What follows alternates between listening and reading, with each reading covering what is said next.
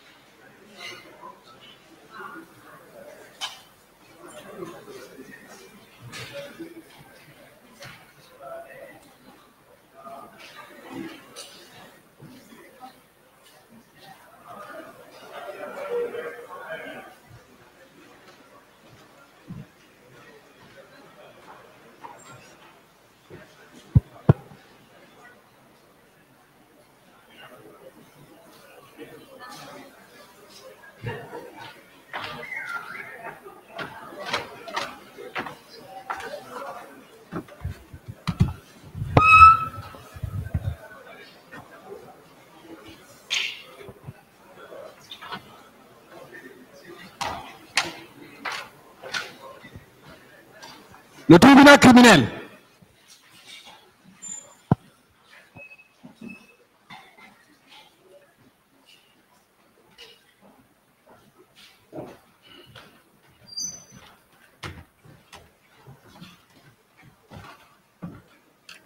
L'audience est ouverte, veuillez vous asseoir.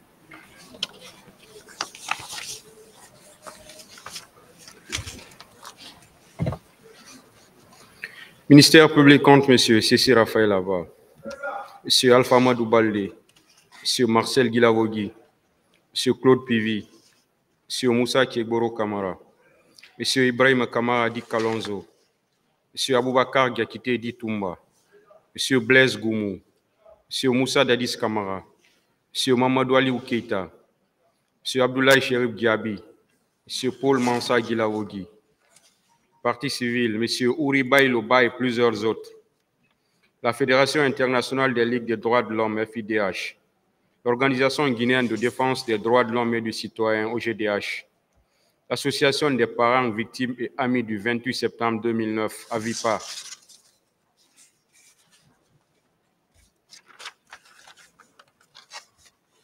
Monsieur Namori Keita. Venez, s'il vous plaît.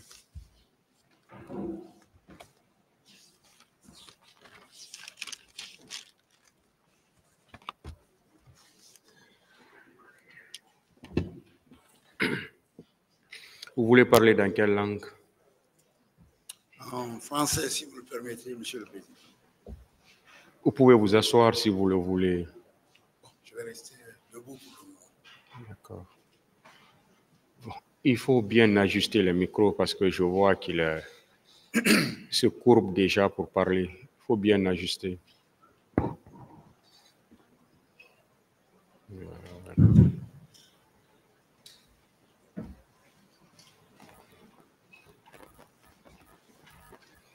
Vous êtes cité à la barre de ce tribunal par euh, Monsieur le procureur de la République pour euh, témoigner dans cette affaire. Et vous avez des droits en tant que tel, parmi lesquels vous pouvez demander au tribunal d'être entendu à huis clos. Ou si vous voulez parler devant le public, vous pouvez le dire. J'ai pas de problème.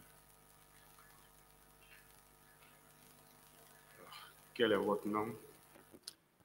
Keita Namori. C'est bon? Quelle est votre profession? Votre date de naissance d'abord ou votre âge? Euh, 19 novembre 1952. 52. C'est À Kindia. Quelle est votre profession?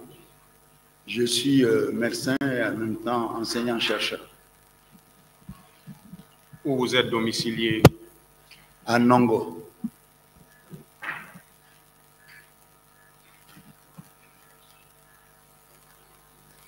Est-ce que vous avez des liens de parenté avec euh, les personnes qui sont assises dans le box des accusés ou avec euh, les différentes parties civiles de cette affaire? Non, Est-ce qu'il y a des liens de subordination entre vous, non, des liens d'alliance? Non. Aucun lien, dites-moi. Pardon? Aucun lien. Aucun lien.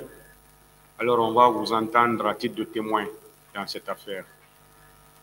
Et vous allez dire au tribunal ce que vous avez vu, ce que vous avez entendu. Et le faux témoignage est une infraction qui est prévue et punie par la loi. Alors vous allez jurer de dire à la barre de ce tribunal, sans haine et sans crainte, toute la vérité et rien que la vérité. Sur ce, vous leverez votre main droite et direz, je le jure. Je le jure. Alors, M. Keita, dites au tribunal tout ce que vous savez à propos des événements du 28 septembre 2009. Merci, euh, Monsieur le Président, de me donner la parole. Je pense que l'histoire que je vais raconter ne sera pas très longue, elle sera bien brève. Le jour du 28 septembre, comme tous les jours d'ailleurs, même si c'est les jours fériés parfois, je quitte chez moi assez tôt, puisque j'habite un peu loin, pour arriver au service aux alentours de 7h15, 7h30. Ce fut le cas le même jour. Alors, je suis sorti, il y avait une toute petite pluie fine qui tombait ce jour-là. En passant, puisque j'avais entendu la radio, comme tout le monde, qu'il y aurait une manifestation au stade du 28 septembre. En passant devant le stade, à cette heure-là, il n'y avait pratiquement personne. Avec euh, les commerçants qui ont l'habitude de faire euh, la vente dans la zone. Je suis donc rentré à l'hôpital. J'ai fait le tour de l'équipe de garde, puisqu'il y a toujours une équipe de garde 24 heures sur 24 dans les hôpitaux de façon générale. Et puis, je suis allé m'installer dans mon bureau. Et j'ai commencé à travailler. Parce que je profite de ces jours-là pour rédiger les cours et puis essayer de regarder les programmes de recherche que nous avons. Et c'est ce que j'étais en train de faire. Et puis, euh, longtemps après, j'ai entendu des bruits sourds. Au début, j'ai pensé que c'était des explosions. Et puis après, il y a eu des bruits répétitifs, qui ont succédé à ça. J'ai compris qu'il s'agissait de tirs à l'arme à feu. J'étais dans mon bureau. Et j'ai appelé euh, un de mes assistants pour lui demander s'il avait entendu la même chose que moi. Il me dit euh, oui, monsieur, mais j'ai l'impression que les tirs viennent du stade. Je dis ah bon? Donc, je suis resté dans mon bureau. Une heure après, le même assistant m'a appelé parce qu'il a quitté le service de gynécologie obstétrique que je dirigeais à l'époque pour aller aux urgences voir ce qui se passait. Parce que ses camarades de garde qui étaient aux urgences n'arrêtaient pas de lui dire qu'il y a des blessés graves qui arrivent du stade. Donc, qu'il y était et que c'était vraiment une très grande catastrophe. Je dis, ah bon, de quoi il s'agit? Il me dit, il y a des blessés graves, mais il y a aussi des femmes qui ont subi des sévices. Et donc, on est là. Je dis, d'accord. J'ai décidé d'aller voir de moi-même pour me rendre compte de ce qui s'y passait. Et puis, entre-temps, je suis reparti au service parce que le service avait été un tout petit peu dégarni pour que les patients qui viennent puissent être pris en charge, malgré que les sages-femmes, elles, elles étaient restées euh, sur euh, place. Puisque c'est un service d'urgence, hein, les maternités, les femmes accouchent tout le temps, quel que soit le moment, et il fallait quand même euh, que des gens soient là pour s'en occuper. Et puis dans l'après-midi, je suis encore retourné. J'ai vu que la situation s'était aggravée. Et on a discuté entre nous, et de commun accord, on a décidé de prendre des ambulances pour aller vers le stade et voir si on pouvait prendre directement des blessés. Et donc, euh, nous nous sommes déplacés avec cinq ambulances. L'ambulance de tête était l'ambulance de l'hôpital où j'étais moi-même, où il y avait un infirmier anesthésiste, le nôtre d'ailleurs, en l'occurrence. Et puis, il y avait euh, deux assurances euh, de Médecins sans frontières. Il y avait une ambulance de la Croix-Rouge guinéenne et la dernière ambulance était l'ambulance des sapeurs-pompiers. Donc, cinq au total. Nous avons pris la direction du stade qui n'est pas bien loin. Arrivé sur l'esplanade, il n'y avait pas grand-chose. Mais les grilles du stade étaient fermées, complètement fermées. Je suis descendu avec l'infirmier anesthésiste, puisque c'était nous qui étions dans l'ambulance de tête, pour demander aux policiers, c'était des policiers casqués, de bleu vêtu, bleu nuit, avec, euh, euh, je crois que c'était les anti-gangs. C'est comme ça qu'on les appelle, en tout cas, euh, de façon générale. Alors, le policier qui était devant moi, il y avait plusieurs autres, je me suis présenté en lui disant que j'étais médecin et que vu la situation, nous étions venus, et comme il le voyait, il le constatait, il y avait cinq ambulances. Nous voulons entrer dans le stade euh, pour récupérer des blessés silianes. Alors, il m'a regardé dans les yeux, il m'a dit, euh, euh, s'il vous plaît, attendez, parce qu'il faut que je demande l'autorisation à ma hiérarchie. Je lui ai répliqué, je dis, mais il y a des blessés, vous en êtes conscient, mais il faut que nous, nous puissions les prendre en charge. C'est pour cela que nous sommes venus en force. Il m'a dit, non, non, je prends référence auprès de euh, mes chefs. Il a effectivement pris un téléphone, il s'est un peu éloigné, il a appelé. Je ne sais pas qui l'a appelé. Et puis après, il est revenu vers nous. Il m'a dit, ne vous en faites pas, nous n'avons pas besoin. Nous avons tout ce qu'il faut pour prendre en charge les blessés et nous allons les amener à l'hôpital si c'est nécessaire, sinon nous allons les amener euh, dans les autres hôpitaux où il y aura de la place. On a dit, d'accord, puisque c'est votre décision, nous avons décidé donc d'aller dans les quartiers parce qu'on nous avait informé à l'hôpital qu'il y avait des blessés qui étaient couchés dans les quartiers, en particulier à euh, Dixinbora, à l'Andrea Port et puis dans le quartier de Dixine. Nous sommes ainsi euh, sortis, les cinq ambulances, euh, se suivant pour aller dans le quartier. Dans le quartier de euh, l'Andrea Port, nous avons été stoppés par une patrouille de bérets rouges euh, qui nous a arrêtés pour nous dire mais qu'est-ce que c'est que ça? De toutes les façons, tous ceux qui euh, ont fait des conneries, nous allons les avoir et nous allons les sanctionner à la hauteur de leur forfaiture. Je lui ai dit, j'ai essayé de lui répondre que moi j'étais médecin, que je n'avais rien à voir avec quoi que ce soit. J'essayais de faire mon travail et c'est tout.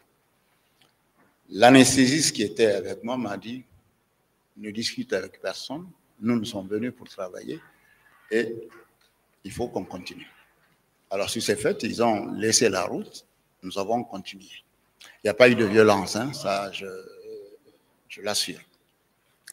Mais dans le quartier, comme il y avait beaucoup de bérets rouges, les gens avaient peur de dire qu'ils avaient hébergé des blessés. Ils nous faisaient des signes.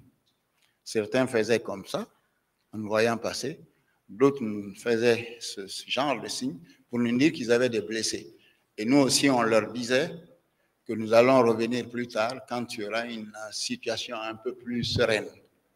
Nous avons ainsi continué vers Dixine euh, Bora, euh, vers là où habite euh, M. Mamadou Silla, dans cette zone-là. Nous avons fait tout le quartier où nous avons commencé à ramasser des blessés qui étaient là, des gens qui nous voyaient, qui nous signalaient, et puis on les embarquait pour les amener vers l'hôpital. Nous avons fait un tour complet, nous sommes revenus sur nos pas. Nous avons aussi embarqué quelques blessés et nous sommes revenus euh, vers euh, l'hôpital. Mais dans ce lot de blessés, il n'y avait pas, bien heureusement, de blessés très graves. Il y avait des coupures au niveau des cuisses, au niveau des jambes et autres, mais il n'y avait pas de blessés véritablement graves qui mettaient en vie la, euh, la vie en danger de ces gens-là que nous avons pris en ce moment précis. Nous sommes ainsi euh, revenus à l'hôpital. Nous avons remis euh, ceux que nous avons récupérés à l'équipe euh, qui était sur place. Et puis, nous avons essayé, nous les avons pris en charge. J'ai appelé à l'époque la directrice qui était dans son bureau, qui venait de quitter justement, mais son adjoint était là au service des urgences. Et avec lui, nous avons essayé d'organiser euh, la prise en charge qui était déjà euh, bien en place et bien avancée pour les premiers blessés qui étaient arrivés. Et puis, entre-temps, il y a des militaires, on ne sait pas euh, d'où ils venaient, qui ont essayé de s'introduire dans l'hôpital. Et ils ont même jeté une grenade lacrymogène dans la cour de l'hôpital. Alors, les médecins et le personnel infirmier se sentis euh, frustrés. Beaucoup se sont levés et ont couru vers la porte avec des menaces en disant Tuez-nous tous, si c'est ça votre vœu. Et après, la situation s'est calmée. Il y avait des militaires, deux, je crois, qui étaient dans la salle des urgences. L'équipe les a fait chasser pour qu'ils sortent de l'hôpital. Entre-temps, un officier est venu qui les a instruits de quitter immédiatement euh, l'hôpital. Ils se sont exécutés, ils sont euh, partis. Et puis, on a commencé à voir les femmes euh, qui avaient eu des sévices. Euh, mes assistants m'avaient parlé de celles qui étaient venues. Une partie était déjà partie à leur domicile. Et puis, il y en a qui étaient restés. Et dans les jours qui ont suivi, nous avons continué à recevoir euh, les femmes euh, violées qui ont pris le courage après de venir à l'hôpital. Voilà ce que je sais de euh, la situation du 28 septembre, ce que j'ai vécu et ce que j'ai vu. Et nous, nous avons continué le travail. Je suis rentré ce jour-là à mon domicile aux alentours de 21h parce que tout le monde me conseillait de ne pas partir très tôt, d'attendre que la situation se calme avant de partir. Et c'était le cas aussi pour mes autres collègues chefs de service qui étaient dans l'hôpital.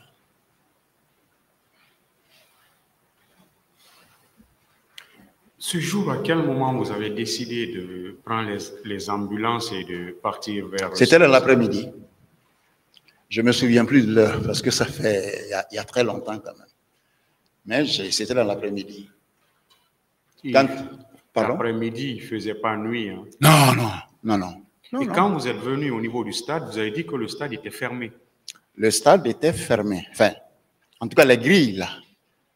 Lorsque vous dépassez l'esplanade et que vous allez, euh, vous avez des grilles qui sont là. Ces grilles-là étaient fermées.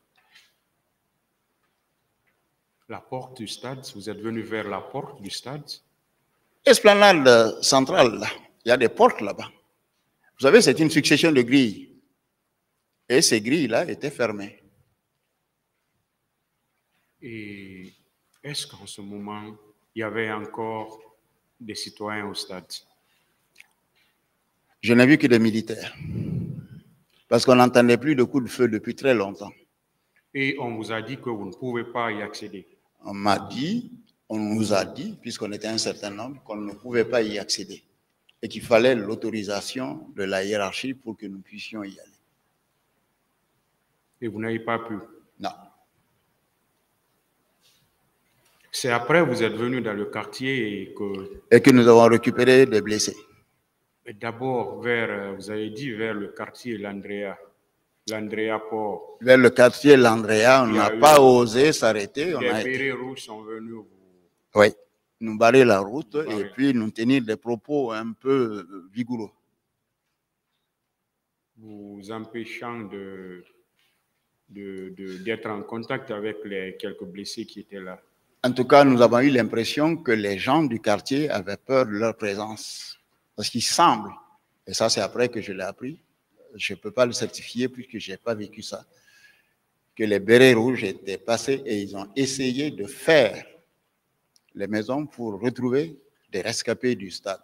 Mais je pense que la population, surtout les femmes, se sont liguées pour empêcher quoi que ce soit. Mais ça, ce n'est pas passé devant moi. Je le précise. Ça, c'est ce qu'on m'a dit. Mais par contre, nous, ils nous ont empêchés. Vous avez décidé avec qui de prendre les ambulances euh, pour vous rendre au stade? Vous l'avez Alors, décidé? avec un certain nombre de médecins qui étaient là, et puis le directeur adjoint de l'hôpital qui était là. Et tout le monde était d'accord sur la démarche. Et la directrice de l'hôpital n'était pas là. Elle était à son bureau en ce moment-là, mais elle était dans l'hôpital. Elle n'a pas assisté à, à cette prise de décision. Euh, elle était au courant. Je pense a, qu'elle a dû en discuter avec son adjoint. Pendant que nous, nous étions en train de nous mobiliser pour voir ceux qui pouvaient partir dans l'ambulance. C'est essentiellement des secouristes. Et comme les autres institutions ne dépendaient pas de l'hôpital, Médecins sans frontières, et puis euh, la Croix-Rouge guinéenne et euh, les sapeurs-pompiers, chacun lorsque les gens ont été mis au courant, était décidé à partir, parce que tout le monde avait compris qu'il y avait certainement des blessés qui n'avaient pas pu euh, venir vers l'hôpital.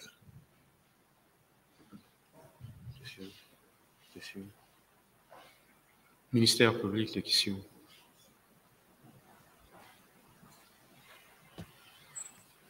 Merci, Monsieur le Président. Merci, honorable assesseur. Professeur, bonjour. Bonjour. Oui. Euh, je voudrais revenir sur euh, votre présence au stade, à l'esplanade. Euh, vous êtes arrivé à quelle heure? L'heure, je m'en souviens plus. Vous êtes venu pendant que euh, le massacre était terminé? Alors, je ne sais pas comment il faut répondre à cette question. Nous sommes arrivés au stade parce que nous avons vu l'affluence des blessés et nous avons décidé, nous nous sommes dit qu'il y a certainement personne, euh, beaucoup de personnes qui n'étaient pas encore euh, venues à l'hôpital. C'était la raison d'ailleurs de notre départ de l'hôpital et c'était pour ça. À l'esplanade, est-ce que vous avez rencontré des citoyens, des civils? Non. à l'es- à l'esplanade C'était désert, il n'y avait plus que des agents de sécurité partout. Alors, quels sont les agents, quels sont les corps que vous avez Le corps que nous avons vu, en tout cas, à la porte, c'était les anti-gangs, ceux qui portent des genouillères et des machins et des casques là. C'est ceux-là là que nous avons vu. Des policiers de CMS policiers, policiers. CMS. Voilà, c'est ça. Vous avez échangé avec qui qui vous a refusé d'avoir accès à, à l'intérieur? C'est Je ne le connais pas. C'est un policier. c'est un policier. Un policier. Vous ne le connaissez pas? Non. Il vous a refusé d'avoir accès à l'intérieur du stade? Il a dit qu'il allait demander l'autorisation de sa hiérarchie. Et après conversation avec sa hiérarchie, Il nous a dit qu'ils allaient s'en charger eux-mêmes. d'accord. Alors, quand vous êtes revenu à, à Dixine, dans le quartier, vous dites avoir rencontré euh, des militaires bérets rouges Oui. Qui était armé. hein. armés. Quel était leur comportement dans le quartier?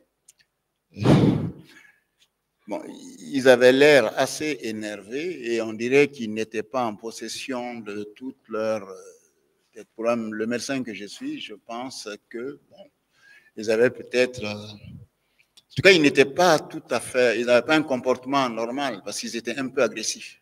Ils étaient agressifs. Ouais. Est-ce qu'ils n'étaient pas, selon votre analyse, ils n'étaient pas dans le quartier euh, pour rechercher encore les personnes qui étaient au stade? Ils n'étaient pas dans une patrouille euh, pour rechercher les victimes encore dans le quartier, C'est possible. selon, selon votre analyse. C'est possible. Vous n'avez pas remarqué quelqu'un, une autorité militaire dans ce groupe? Non, de Béret Rouge Vous n'avez remarqué personne? Non. Je pense que c'est des bérets rouges de, de base. Hein. Je n'ai pas vu quelqu'un qui portait un galon. Je crois qu'il y avait un, un- Non, non, non. Aucun d'eux n'avait un galon. Ils avaient le béret rouge, ça c'est sûr. Ils avaient des fusils d'assaut. Et puis voilà. Donc vous confirmez que c'est les Bérets Rouges Ça, c'est les bérets rouges, c'est sûr, parce qu'ils avaient le béret rouge. Alors, nous sûr. allons revenir sur euh, la question de la prise en charge. Quand vous avez réussi à avoir certains blessés et pour les conduire aux urgences de Donka, je voulais savoir précisément à quelle heure vous avez constaté la présence des militaires et de quel corps? Et dans l'enceinte de, de, de Donka. Bon, ça, euh, je crois que c'est des militaires normaux, hein, si on peut s'exprimer ainsi, qui étaient dans des tenues vertes. Je crois que c'était des tenues vertes, des tenues, le, le- le vert euh, militaire. Et qui avaient, certains avaient des calots, d'autres avaient des casques. Il y avait, ils portent des bérets rouges? Non, ceux-là, là, pas, je ne les ai pas vus avec des bérets rouges. Quelle était leur attitude Puisque vous avez parlé de quelque Ils chose avaient une attitude agressive, agressive. même envers le corps médical. La preuve, ils ont jeté une grenade dans la cour de l'hôpital en ce moment. En ce moment. C'était la journée. C'était dans l'après-midi. Je crois que c'est aux alentours de 17 heures peut-être, je peux dire. Parce que nous, on est revenu du stade peut-être un peu plus tard parce que euh, le soleil était vraiment en train de se coucher. quoi. Je pense. Professeur, je voudrais euh, que vous confirmiez cela, la présence effective des militaires dans l'enceinte de l'hôpital d'Onka. Il n'était pas dans qu'auparavant, auparavant, quand il y a des questions, euh, des mouvements euh, qui conduisent à, à des débordements, vous recevez des, des- des- des victimes, est-ce que ce jour, l'atmosphère qui régnait à Donka était la même atmosphère au Cap Non, c'était pas la même atmosphère. Il y avait une atmosphère de colère et de révolte. De colère et de révolte parmi le corps médical. Ça, c'était, je sais pas, un sentiment de, de haine envers ceux qui... euh, c'est- le sentiment que nous avons eu, parce qu'ils étaient très offensifs, en fait. Oui. Vous étiez là-bas. Les événements ont commencé à revenir. Euh. J'étais au bureau, dans mon bureau. Vous avez pris le soin d'arriver Vous avez Après, avec des ambulances. Vous avez pris certains blessés pour les conduire aux urgences. Professeur, je voudrais savoir, est-ce que vous avez eu à apprendre l'irruption des bérets rouges qui se sont attaqués à la pharmacie de, de Donka? Est-ce que vous avez appris cela? J'en ai entendu parler, mais je n'étais pas là. Vous n'êtes pas allé à... Je n'étais pas là, mais les gens, enfin, mon équipe de garde qui était sur place m'a dit qu'il y a eu une éruption de bérets rouges au niveau de la pharmacie de l'hôpital. J'en ai entendu parler. J'ai essayé de demander confirmation auprès d'autres qui m'ont dit, mais je n'étais pas là physiquement en ce moment-là. Mais qui vous ont confirmé effectivement Qui a eu ça, oui. qu'il y a eu l'éruption des bérets rouges qui se sont attaqués à la pharmacie de Donka. Voilà. Parce que vous savez, le service de gynéco, il est au fond de l'hôpital. hein. Et les urgences, c'est au début de l'hôpital. Donc, quand ça se passait, j'étais certainement euh, vers euh, la, la maternité, vers mon service. Sur la question des, des- des femmes victimes de viol, à quel moment précisément votre service, étant le chef euh, de service de la gynéco, vous avez commencé à recevoir les femmes victimes de viol et de violences sexuelles? Alors, en réalité, le même jour, l'équipe qui était là avait déjà reçu des femmes victimes de violences. Alors, l'histoire qu'elles racontaient le plus souvent, c'est qu'elles ont été attaquées, déshabillées, et que certains militaires ont essayé d'abuser d'elles par la manière forte. D'autres ont utilisé des baïonnettes. J'étais pas là, hein, ce sont ceux qu'elles nous ont, ils ont raconté à l'équipe qui était là. Ont utilisé des baïonnettes euh, dans le vagin ou des morceaux de bois dans le vagin. Et lorsque les femmes ont été examinées, il y avait des traces, bien sûr, de blessures au niveau vaginal, au niveau euh, des parties internes, des cuisses, etc. Il y avait en tout cas des lésions et, et parfois quelques débris de bois, selon l'équipe qui était là, avaient été pris dans le vagin des femmes. Je vous remercie. Je vous remercie, Monsieur le Président.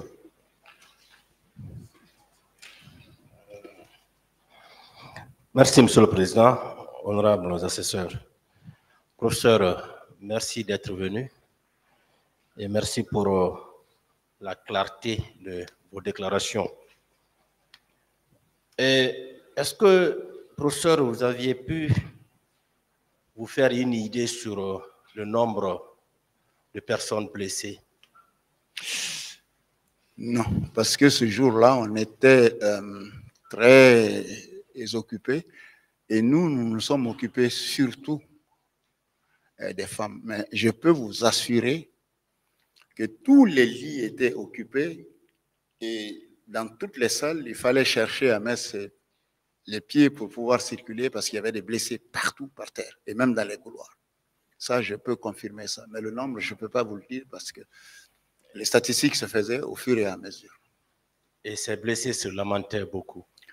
Beaucoup de blessés se lamentaient, effectivement. Et avec, il y en avait qui avaient des blessures graves hein, à la tête euh, et dans d'autres parties du corps.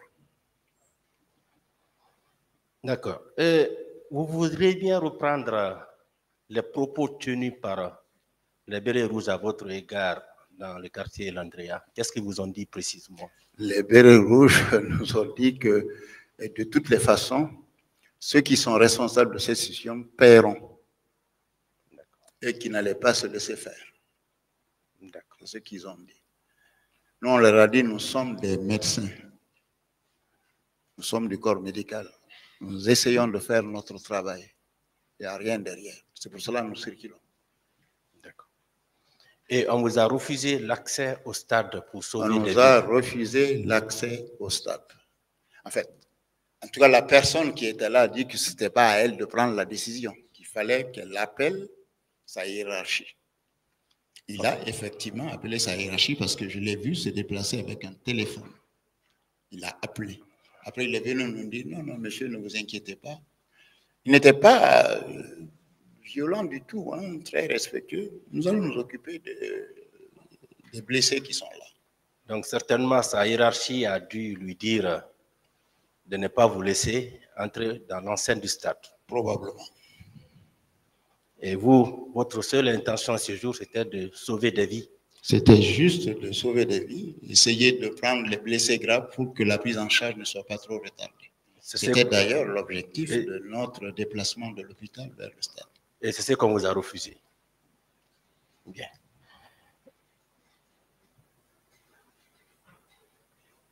Est-ce que vous pouvez nous parler des cas de mort? Des Non. personnes qui ont trouvé Non, Non. je ne peux pas vous en parler parce que ce n'est pas nous qui gérons les cas de mort. Les, morts sont généralement, à part ceux qui sont décédés peut-être ce jour-là, aux urgences. C'est une fois que le décès est constaté, il y a un certificat euh, qui est donné et la personne est déposée à la mort. Mais il peut arriver, euh, parce que tous les décès à l'hôpital passent par le bureau des entrées. C'est-à-dire la personne est déclarée, la mort est constatée et la personne est transférée à la morgue. Et parmi les blessés qui avaient été admis à votre niveau, est-ce qu'il y avait eu des cas de mort? Non, D'accord. Vous dites qu'il y avait cinq ambulances cinq. et toutes ces cinq ambulances étaient allées au stade? Dans tout le quartier, on a fait tout le tour ensemble. Mais les ambulances n'ont pas été beaucoup chargées pour les raisons que je vous ai évo- évoquées. Les gens avaient peur que les ambulances s'arrêtent devant chez eux, mais ils nous indiquaient bien qu'il y avait des gens là-dedans qui étaient blessés. Mais ils avaient peur que les ambulances s'arrêtent. Et nous, on les a promis qu'on viendrait plus tard. Est-ce que vous pouvez nous dire euh, les différents quartiers que vous avez eu à sillonner? Oui, l'Andrea, L'Andrea, l'Andrea Port. Et puis euh, le quartier de Dixine Bora. Dixine Bora, Et puis euh, le grand quartier de Dixine jusque vers le centre de santé de Dixine. Dans cette zone-là aussi, vers la mosquée. d'accord. Nous sommes passés dans toutes ces zones-là. Nous avons pris toutes les ruelles hein, de façon systématique. Et dans tous ces quartiers, il y avait des blessés Il y avait des blessés. qui étaient certainement dans des différentes familles. Et puis il y en avait qui n'étaient véritablement blessés, mais qui avaient peur et qui étaient cachés là. Et donc ils sont venus à l'hôpital, parfois ils n'ont reçu aucun soin, mais ils avaient peur, de- enfin ils avaient besoin d'être dans un endroit sécurisé. Et ils, considéraient que l'hôpital était un endroit sécurisé. Ils sont venus là jusqu'après, dans la soirée, ils sont rentrés chez eux. Et professeur, vous étiez ce jour à l'hôpital, vous avez sillonné les quartiers, vous avez été au stade. Quelle est l'analyse que vous, que vous avez pu faire ce jour de tout ce que vous avez eu à constater? Qu'est-ce que vous voulez que je vous dise? Euh, Je pense que c'est un jour euh, que je garderai dans ma mémoire. L'analyse que je fais, c'est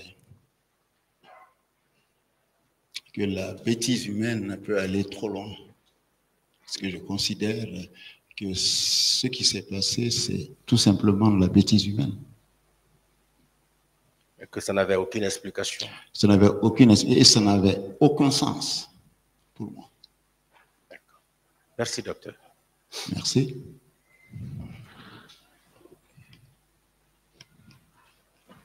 Bonjour, professeur. Bonjour. Euh, je voudrais revenir sur une question qui avait été préalablement posée par mon collègue et sous un autre volet, c'est-à-dire la présence des militaires dans l'enceinte de l'hôpital d'Anka. Plus précisément, le saccage de la pharmacie.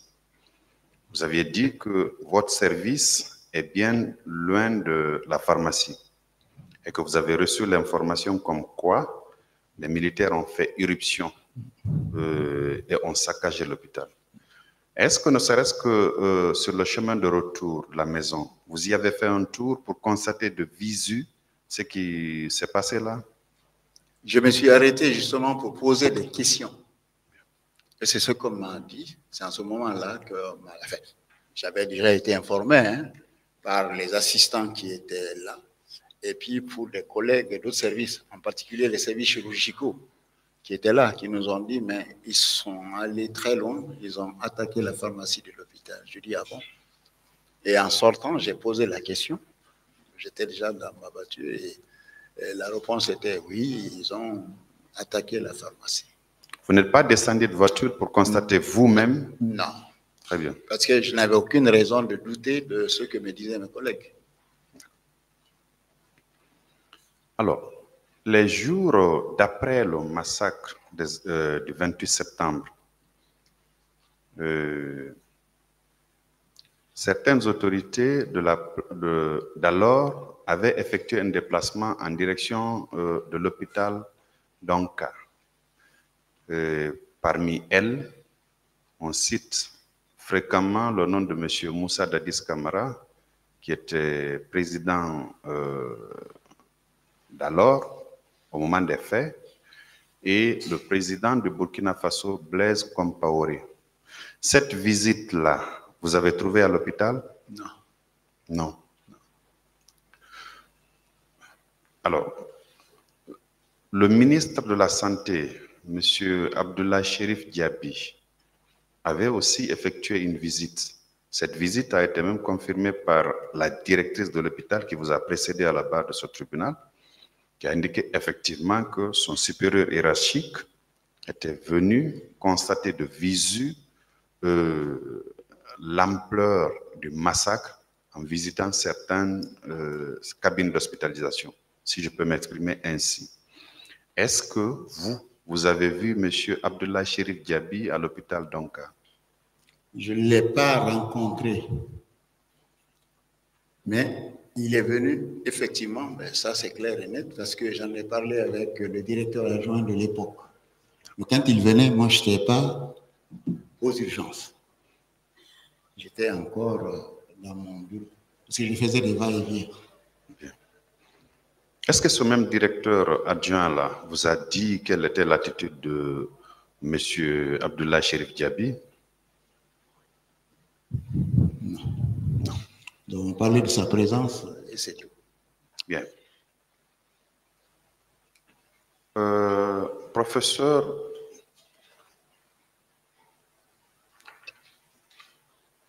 vous avez, vous êtes médecin. Euh, le jour de ce massacre-là, vous étiez à l'hôpital comme d'habitude. Les jours d'après, les femmes qui ont été victimes de violences sexuelles se sont présentées à vous. De l'examen que vous ou votre équipe avez pu faire, est-ce que euh, euh, la thèse de viol, enfin la notion de viol, vous l'avez euh, constatée de visu sur les femmes que vous aviez examinées La notion de viol, selon l'entendement des médecins, a été évoquée sur les dossiers que nous avons vus, effectivement. Mais comme euh, moi, vous savez que le viol ne peut être constitué que par un magistrat. Le médecin décrit la situation et indique qu'il y a possiblement un- une situation de viol. C'est à la suite des enquêtes que le magistrat peut établir effectivement qu'il s'agit d'un viol. Et ça, je peux vous confirmer qu'il y avait des preuves de viol et de grandes conséquences de viol qui ont été constatées. Ça, je peux vous le certifier. Excusez-moi, je n'ai pas bien entendu. Vous avez parlé de grandes conséquences ou graves conséquences de... De graves conséquences. Ça veut dire, professeur, Ça veut dire les problèmes psychologiques, des contaminations pour les maladies sexuellement transmissibles, y compris le VIH, la grossesse, post-viol. Tout cela a été constaté. Alors, parmi les femmes qui se sont présentées à vous ou votre équipe, vous ont-elles parlé de viol collectif? Parce que dans ce dossier, il ne s'agit pas seulement de viol, mais il y a aussi des femmes qui ont été victimes de viols, colle- qui ont déclaré avoir été victimes de viols collectifs. Certains l'ont Euh, dit. dans notre jargon à nous, euh, je ne sais pas si c'est C'est le... le- bon jargon que nous utilisons, euh, vous et nous, on parle de viol collectif toutes les fois qu'une femme a été sexuellement abusée par plus d'une personne. Certaines l'ont dit, oui. Elles n'étaient pas nombreuses, hein, mais certaines l'ont évoqué, mais surtout, beaucoup ont parlé d'avoir été retenues par des mains pour que une ou deux personnes puissent euh, les violer. Et d'autres ont dit euh, que sous la menace des armes, euh, elles se sont déshabillées à la demande de ceux qui avaient essayé de les, en tout cas, de les prendre de force.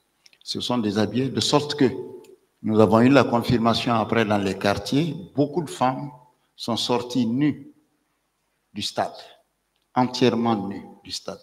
Et ce sont les femmes du quartier de l'Andréa Port qui les sont venues au secours en leur prêtant des pagnes et en les amenant chez elles. Ça, je peux confirmer ça parce que plusieurs personnes du quartier l'ont dit. Je ne les ai pas vues, je n'étais pas là. Mais elles nous ont dit ça. Cela a été confirmé par plusieurs euh, victimes, euh, professeur. Ça ne souffre l'ombre d'aucun doute. Alors, dans, euh, parmi ces femmes-là, euh, votre curiosité vous a poussé à leur demander que, qui étaient ou qui étaient leurs agresseurs et vous ont dit que si c'était des civils, des militaires, des policiers, des gendarmes, Des militaires. des militaires. Elles ont toutes dit que c'était des militaires. D'accord. Dans ce de militaires, ont-elles indexé le corps des bérets rouges ou euh, un autre corps? Je ne sais pas si elles font la différence et nous, en réalité, nous n'avons pas posé toutes ces questions-là. Elles nous disaient, ce sont des militaires, et nous nous contentions de cette réponse. Parce qu'il est très difficile de parler avec une femme violée. Elle a un refoulement et il y a des moments, elle a une amnésie parce qu'elle n'a pas envie de se souvenir de ce qui lui est arrivé. Euh, c'est le constat que nous avons fait. Elles ont toutes dit, ce sont des militaires. Peut-être une dernière question. Euh, vous avez pu euh, documenter euh, toutes ces, ces notions de viol et de violence sexuelle? Vous avez comptabilisé le nombre de femmes qui s'étaient présentées à vous, victimes de viol ou de violence sexuelle, professeur? J'avais confié à trois de mes assistants de s'occuper de ce dossier, puisque les femmes ont continué à venir euh, bien après. Il y a d'ailleurs eu une histoire qui me hante depuis ça, une histoire assez particulière d'une jeune femme de 20 ans qui avait passé le bac, qui devait aller à l'université, qui a été violée et elle a eu la triple sanction. Elle a été violée, elle a été contaminée par le VIH, elle est devenue enceinte. Elle était hospitalisée en psychiatrie pour des problèmes psychiatriques qu'elle avait. Et ça, c'est une histoire qui m'a marqué. C'était, euh, elle faisait partie des jeunes, parce qu'il y avait des jeunes filles aussi de 17 ans hein, qui avaient été euh, violées à l'époque. Elle, elle a vraiment eu la marque de la violence humaine. Je l'ai perdu de vue, parce qu'on a essayé de s'intéresser pour savoir euh, ce qu'elle était devenue, parce qu'elle avait la possibilité de faire une interruption médicale de grossesse avec la situation. Mais on ne l'a plus jamais revue. Elle a disparu. Euh, c'est bien dommage. Elle était bien saine et vierge, parce qu'elle a perdu sa virginité ce jour-là. Les examens ont constaté que c'était une défloraison très récente quand euh, elle a été vue. Puisqu'elle a été vue plusieurs jours hein, après. Je pense qu'elle se cachait, elle ne voulait pas venir. C'est au mois euh, d'octobre qu'elle est venue à l'hôpital pour dire qu'elle fait partie des personnes. Elle n'est pas venue d'elle-même, hein, elle a été accompagnée euh, par deux dames qui l'ont amenée ce jour-là. Elle était pas bien. Affreux. Euh, quand je parle de statistiques, je voudrais, enfin, j'ai envie de savoir si euh, vous avez chiffré le nombre de femmes euh, qui s'étaient présentées à vous, victimes de viols et de violences sexuelles. Alors, il y a un lot, le tout premier, celles qui sont venues le jour des urgences ont été enregistrées euh, au service des urgences. Nous, celles qui ont été enregistrées à notre niveau, ce sont des femmes qui sont venues après, parce que le service a été désigné après pour la prise en charge de toutes les personnes violées. Et si mon souvenir est bon, je pense que dans le mois d'octobre et après, je pense que nous avons dû voir 29 femmes, il me semble. 29. 29, je crois. En tout cas, c'est dans cette zone-là. Et nous avons produit un rapport qui avait été remis à une première cour qui avait été mise en place euh, pendant euh, que le CNDD était encore au pouvoir et qui était présidé par le procureur Siriman Kouyaté, je crois. Et tous les documents avaient été déposés à cette occasion-là. Parce qu'on avait été appelé euh, pour, euh, avec le professeur Hassan là-bas et la directrice à l'époque, pour euh, dire y a-t-il eu viol ou non. Voilà. Merci, professeur, pour ce acte citoyen.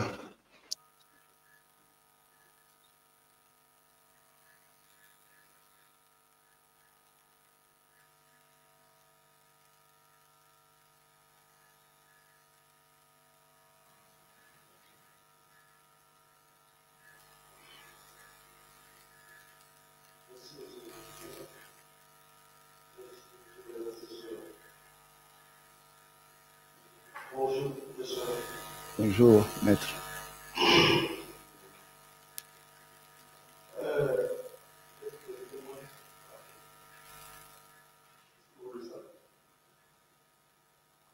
Je sais pas ce que ça veut dire.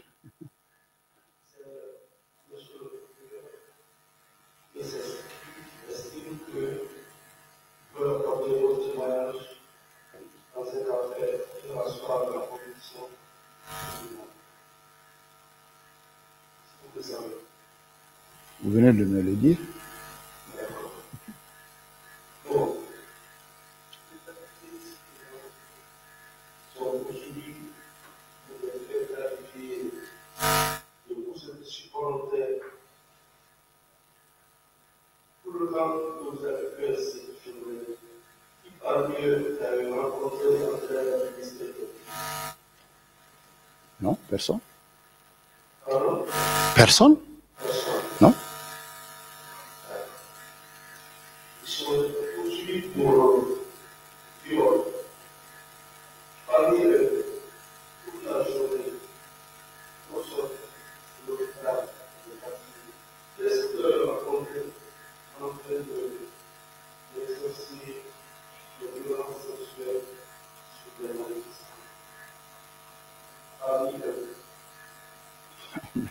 eu de...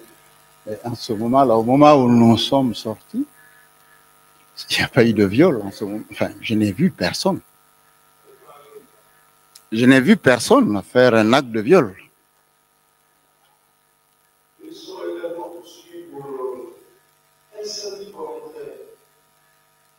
Lorsque vous êtes sorti de l'hôpital, allez le test de la rencontrée. Euh, en fait, d'incendie de petits magasins, des habitations, reconnaissance. Dans la zone où j'ai circulé, je n'ai pas vu ça. Je ne peux pas répondre à cette question puisqu'en dehors de la zone, j'y étais pas. Ensuite, ils sont poursuivis pour l'assassinat. Le fait de donner la mort avec préméditation et complice. Alors, avec eux, qu'est-ce que vous avez dit Quelle est la mort avec un homme Non. Je peux vous assurer que pendant tout le processus, aussi bien à l'hôpital qu'en allant au stade, je n'ai rencontré. euh, J'étais dans l'ambulance, je n'ai rencontré aucun d'eux. Non. Non.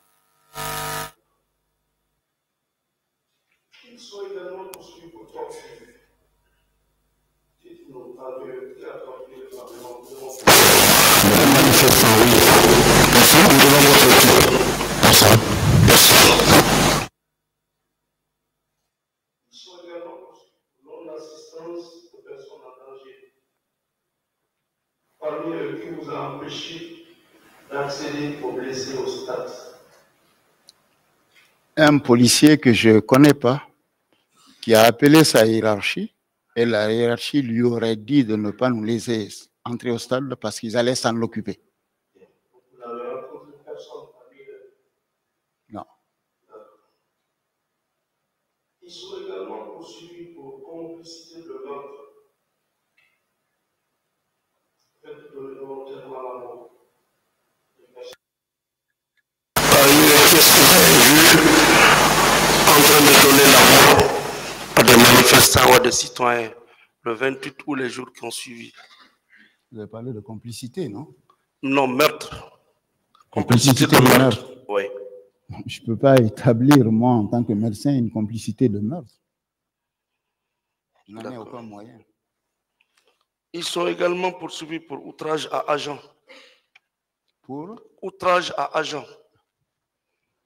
Est-ce qu'un seul a outragé un agent par devant vous dans l'exercice de ses fonctions qui? Parmi eux? Parmi eux, non, mais il y a eu des militaires qui euh, ont essayé de. Enfin, qui ont jeté une bombe lacrymogène dans la cour de l'hôpital. Des militaires. Des militaires. que vous ne pouvez pas identifier. Non. Très bien. Le parquet également les poursuit pour séquestration. Est-ce que vous avez appris que parmi eux, il y en a qui ont séquestré ou vous avez assisté? Appris ou vu? Oui. ben, Comme tout le monde, hein, la population, nous avons tous appris qu'il y a eu des gens qui ont été arrêtés, qui ont été torturés. Ça, tout le monde a appris ça. D'accord. Et vous l'avez pas pas vu. D'accord. Il y a également l'attentat à la pudeur. Est-ce que vous les avez vus commettre des actes impudiques sur des citoyens? Eux-mêmes? Eux-mêmes Non. Ensuite, détention illégale d'armes de guerre et de matériel en leur possession. Est-ce que vous, avez, vous les avez vus avec des armes de guerre? Des armes? Des armes de guerre. nucléaires De guerre. Ah ben oui, les bérets rouges qui étaient dans le quartier et qui nous ont parlé avec vigueur. Mais eux, pas eux. Des bérets rouges Dans le quartier. dans le quartier. Bien. Donc, en somme, toutes ces infractions-là, vous ne pouvez apporter aucun témoignage par rapport à leur commission et à leur imputabilité. Moi, je crois que c'est la Cour de décider ça, c'est pas de mon ressort. Docteur, depuis quand vous êtes euh, à Donka? Depuis de nombreuses années, on va dire comme ça. Depuis 1980, depuis 1979, je veux dire. Depuis 1979. Ouais, je suis maintenant à la retraite et je remercie le Seigneur. D'accord. Un parcours élogieux. Chef service gynécologie. Tout à fait. Quand il y a des événements dans la cité, c'est vous qui prenez l'ambulance pour aller chercher les malades. Ou c'est votre service d'urgence qui vous réfère les malades. Habituellement. Habituellement, Oui, les patients se rendent au service des urgences. Si Oui. ça relève de la gynéco, ce qui est arrivé, Mm. puisque ce sont ceux qui étaient de garde au service des urgences qui ont appelé à la rescousse le service de gynéco pour venir voir les femmes euh, qui disaient être violées pour en établir les preuves. docteur, C'est ça notre fonction, oui. habituellement, Oui, vous, en 2008, vous étiez chef de service gynécologie oui, au top. oui, Vous étiez le grand patron. oui. Et il y avait beaucoup de structures qui relevaient de vous, Les services, de- les structures du service de gynécologie et de qui relevaient de vous. Oui. Voilà. Habituellement, quand il y a des événements de ce genre, ce sont les services des urgences qui vous réfère les malades ou bien c'est vous-même qui prenez l'ambulance pour sortir rechercher les victimes Qu'est-ce que vous voulez préciser? Précisez votre idée parce que je ne comprends pas la question. Vous êtes le chef service gynécologie. Oui.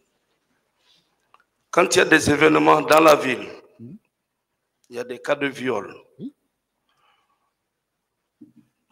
Est-ce que ces cas de viol vous sont référés à travers les urgences, les services des urgences, ou bien c'est vous-même qui prenez l'ambulance pour aller chercher ces cas à travers la ville? Les cas nous sont référés. Pardon? Les cas sont référés. Sont référés, d'accord Parce qu'on n'est pas censé être au courant de l'existence de ces viols-là. D'accord. Et donc, les gens nous sont Donc, référés. au service des urgences, il y a les représentants de toutes les structures. Corrigez-moi hein, si je ne suis pas médecin. C'est oui sauf, ou non? le, sauf le service de gynéco qui prend en charge ses propres urgences. Puisque c'est une autre euh, situation. Une femme enceinte ne peut pas venir au service des urgences pour se présenter alors qu'elle a besoin d'être prise en charge tout de suite. Oui, mais une femme en état a commencé depuis la base. Ce n'est pas un cas de viol. Mais vous, vous avez dit dans Oui. votre question, Allez-y. si les gens viennent, que tous les services étaient représentés aux urgences, je vous ai dit non.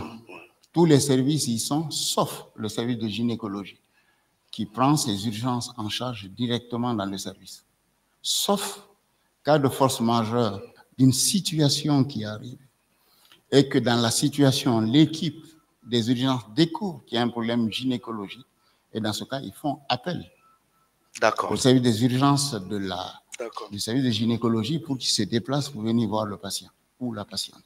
Combien de malades les urgences vous ont référé ces jours-là Je ne comprends pas la question. Combien de malades, euh, enfin, combien de, personnes euh, victimes de viol les urgences vous ont référé ces jours-là Les urgences ne nous ont référé personne puisque l'équipe, ils ont appelé au secours pour que l'équipe soit sur place. sur place Ben oui.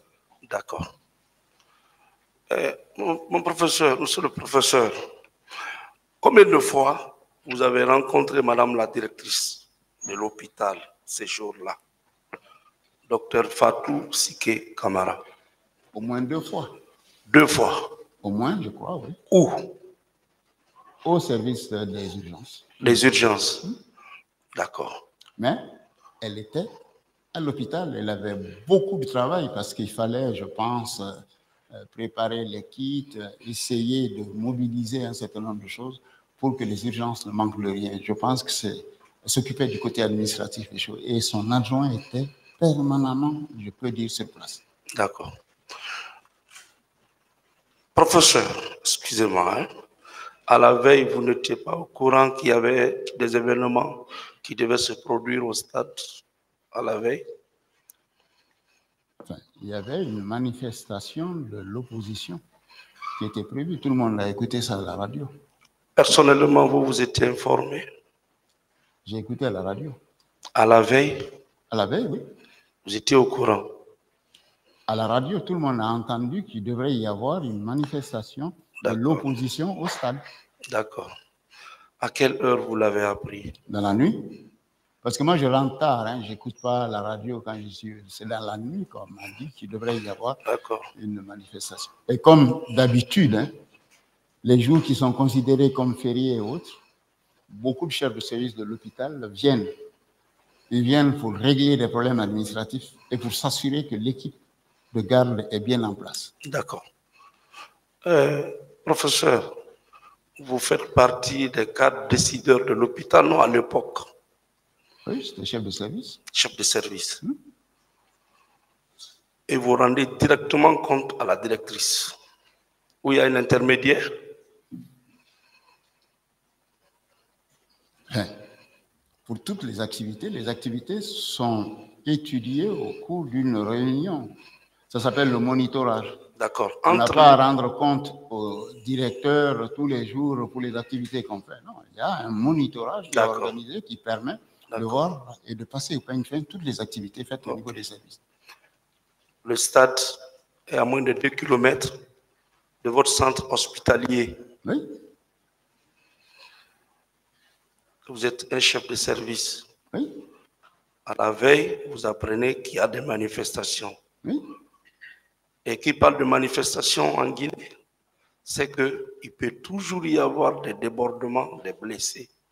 Est-ce que vous avez pris soin d'appeler Madame la directrice pour lui dire, je viens d'apprendre qu'il y a des manifestations, prenons les dispositions. C'est pas mon rôle, ça. Ce n'est pas votre rôle. L'hôpital a des principes. D'accord. Chaque fois qu'il y a une manifestation, les urgences sont renforcées. Je viens de vous dire que lorsque, au service des urgences, ils ont constaté qu'il y avait un débordement, qu'il y avait beaucoup de blessés, ils m'ont appelé, mes assistants. Monsieur, on nous a appelés parce qu'il il semble qu'il y a beaucoup de problèmes aux urgences. Donc, nous allons voir ce qui se passe et nous vous tenons au courant. C'est ce que je viens de dire. Oui, mais s'il vous plaît, on dit le médecin après la mort. Ah bon? C'est ce que nous nous avons appris. Mieux vaut prévenir que de guérir. Ah bon? Donc, vous vous supposez, vous vous supposez que quand il y a une réunion quelque part, il va forcément y avoir la violence. C'est ce que vous êtes en train de me dire. Professeur, Non, enfin, je vous pose une question à mon tour. Est-ce que c'est ce que vous pensez? Parce que c'était une euh, manifestation de l'opposition où des discours devaient être prononcés. très bien. hein? Très bien. Mais est-ce que je dois déduire qu'il va y avoir violence à cause de ça? C'est ce que vous êtes en train de me poser comme question. Bien. Moi, dans mon entendement, une réunion qui se C'est tient... bon, c'est bon, c'est bon. Professeur, vous avez appris les tractations qui avaient eu lieu, Comment voulez-vous que j'apprenne ça? Moi, je suis médecin. Comment les démarches qui avaient été faites Quelle démarche pour que la manifestation soit reportée. Je ne suis pas au courant.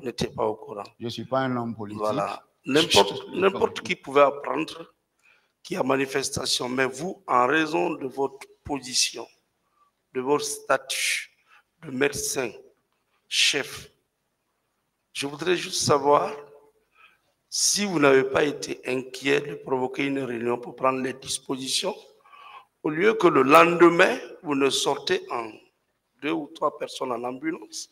Il a répondu à cette question. Une autre question. D'accord. Docteur, vous étiez parti à bord de combien d'ambulances? Je crois que j'ai- dit ça déjà. Vous étiez au nombre de combien? Dans chaque ambulance, il y avait au moins trois personnes, je pense. Trois personnes.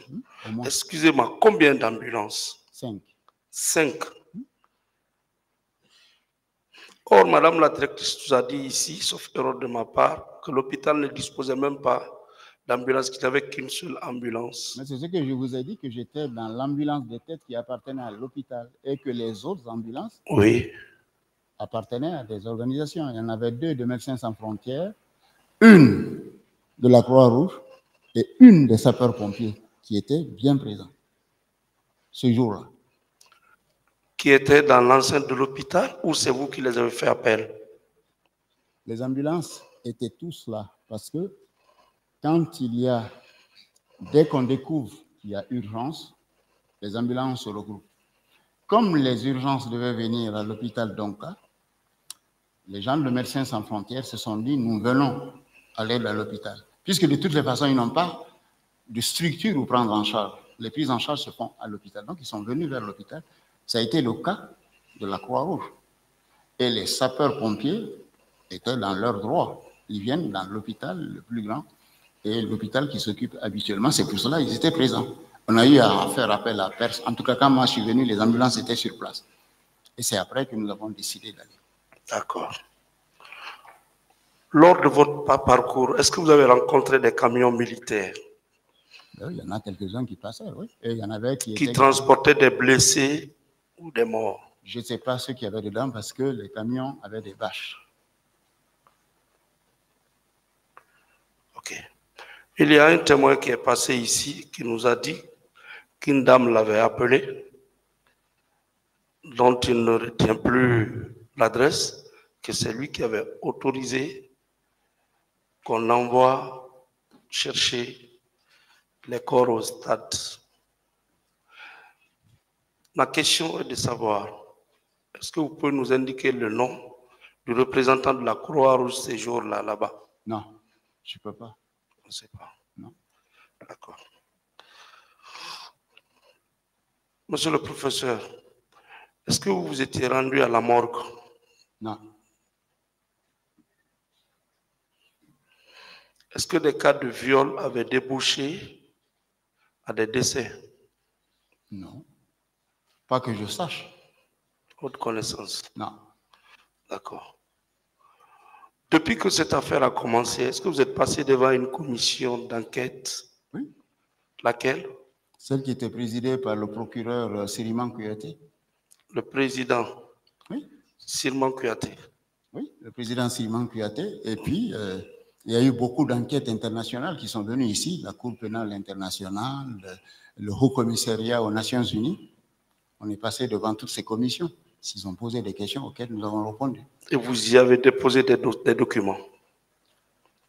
Ils ont demandé les documents, ce sont les mêmes qui ont été déposés au niveau de la Cour présidée par euh, le, M. Kouyaté. Vous maintenez effectivement avoir été ent- entendu par la commission d'enquête internationale? Oui, Dans l'une de ses conclusions, la commission indique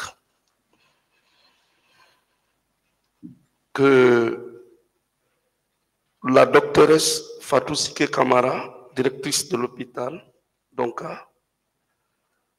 en particulier en relation avec la prise de contrôle militaire de son hôpital et les diverses dissimulations des faits médicaux. La commission a estimé que l'hôpital Donka n'avait pas fourni toutes les informations, toute la documentation. Que répondez-vous Pour mieux éclairer je religions? je n'ai rien à répondre à ça. D'accord. Dans votre sortie, vous avez pu ramener combien de blessés? Une dizaine, je crois. Une Parce qu'il y en avait quelques-uns dans l'ambulance où j'étais, dans l'ambulance qui suivait. Et comme je vous l'ai dit, les gens avaient peur de signaler. euh, ils nous faisaient des signes et on a promis qu'on allait revenir. Et nous-mêmes, les ambulances avaient peur de garer pour ne pas stigmatiser, puisque les bérets rouges étaient dans le quartier, pour ne pas stigmatiser les concessions. Est-ce que après les événements, votre vie était en danger Enfin, je n'ai pas eu cette impression.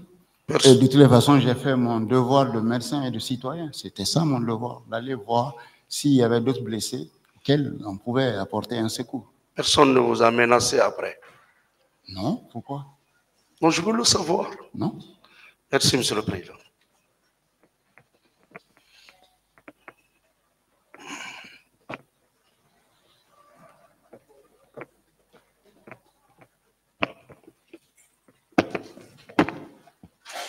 Docteur, bonjour. Bonjour, monsieur. Euh, J'ai quelques petites précisions. Oui, je vous écoute. Étant le médecin chef des services de gé- gynécologie, est-ce que vous avez eu à établir, disons, un rapport comportant une liste de victimes? Est-ce que vous avez ce rapport dont vous avez souvenance Je crois que c'est la énième fois que je réponds à cette question. Oui, la réponse est oui. Et c'est le même rapport qui a été déposé depuis la première euh, enquête et devant les différentes euh, institutions qui nous ont posé la question, ils ont eu le, le rapport. Est-ce que vous avez souvenance des noms de victimes des services de gynécologie, des victimes de viol, Vous avez soutenance, enfin, vous avez souvenance Des- de personnes, des noms, des noms des victimes de, de viol, les noms, de quelques noms.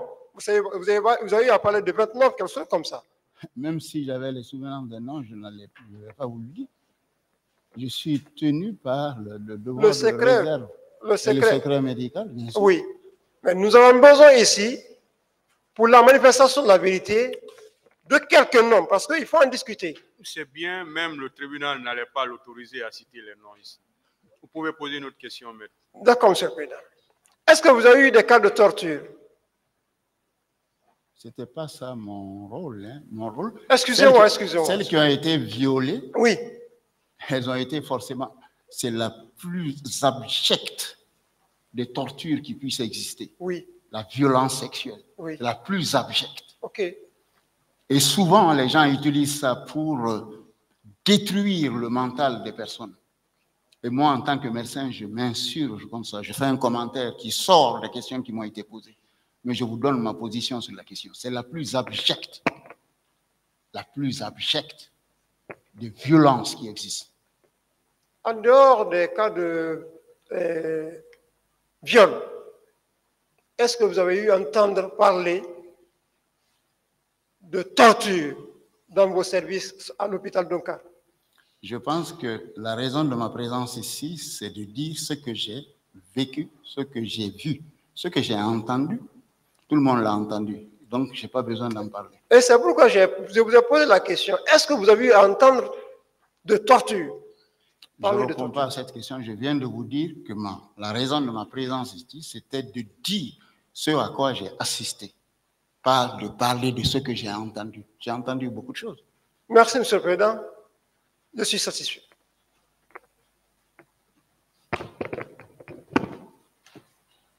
Partie civile.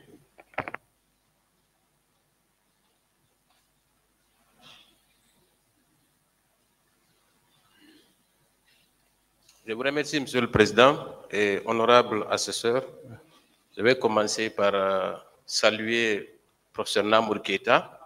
Votre réputation vous précède ici. Je suis très heureux que vous soyez venu pour apporter votre témoignage.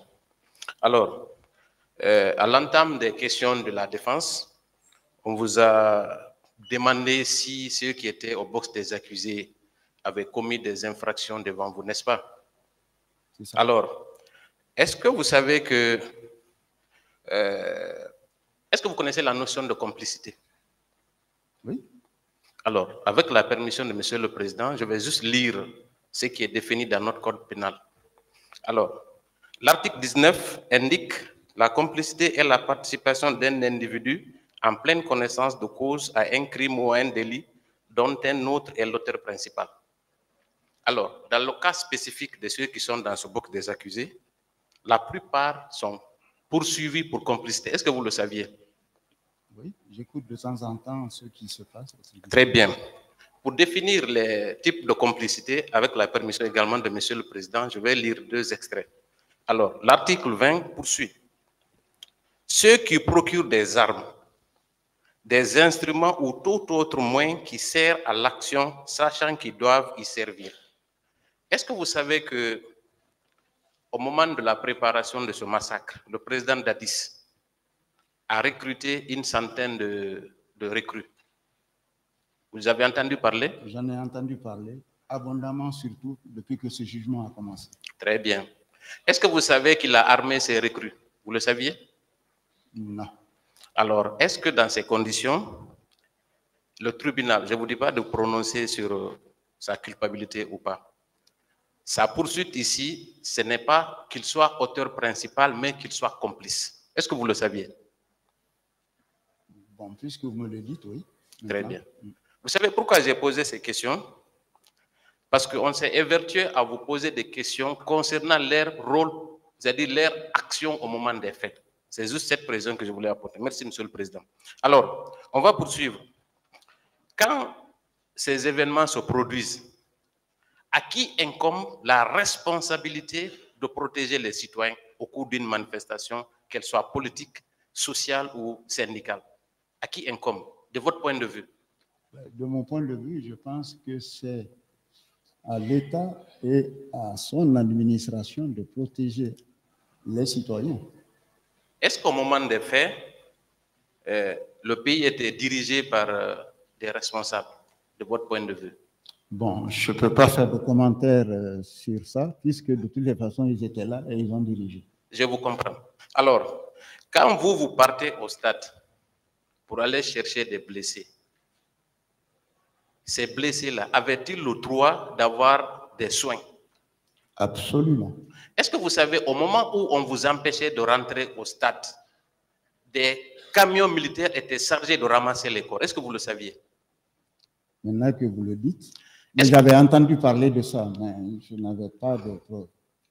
Très bien. Est-ce que si on vous avait permis de- d'accéder à ce stade, est-ce que vous n'auriez pas sauvé davantage de vies? Probablement. Selon vous, pourquoi on vous a refusé l'accès au stade?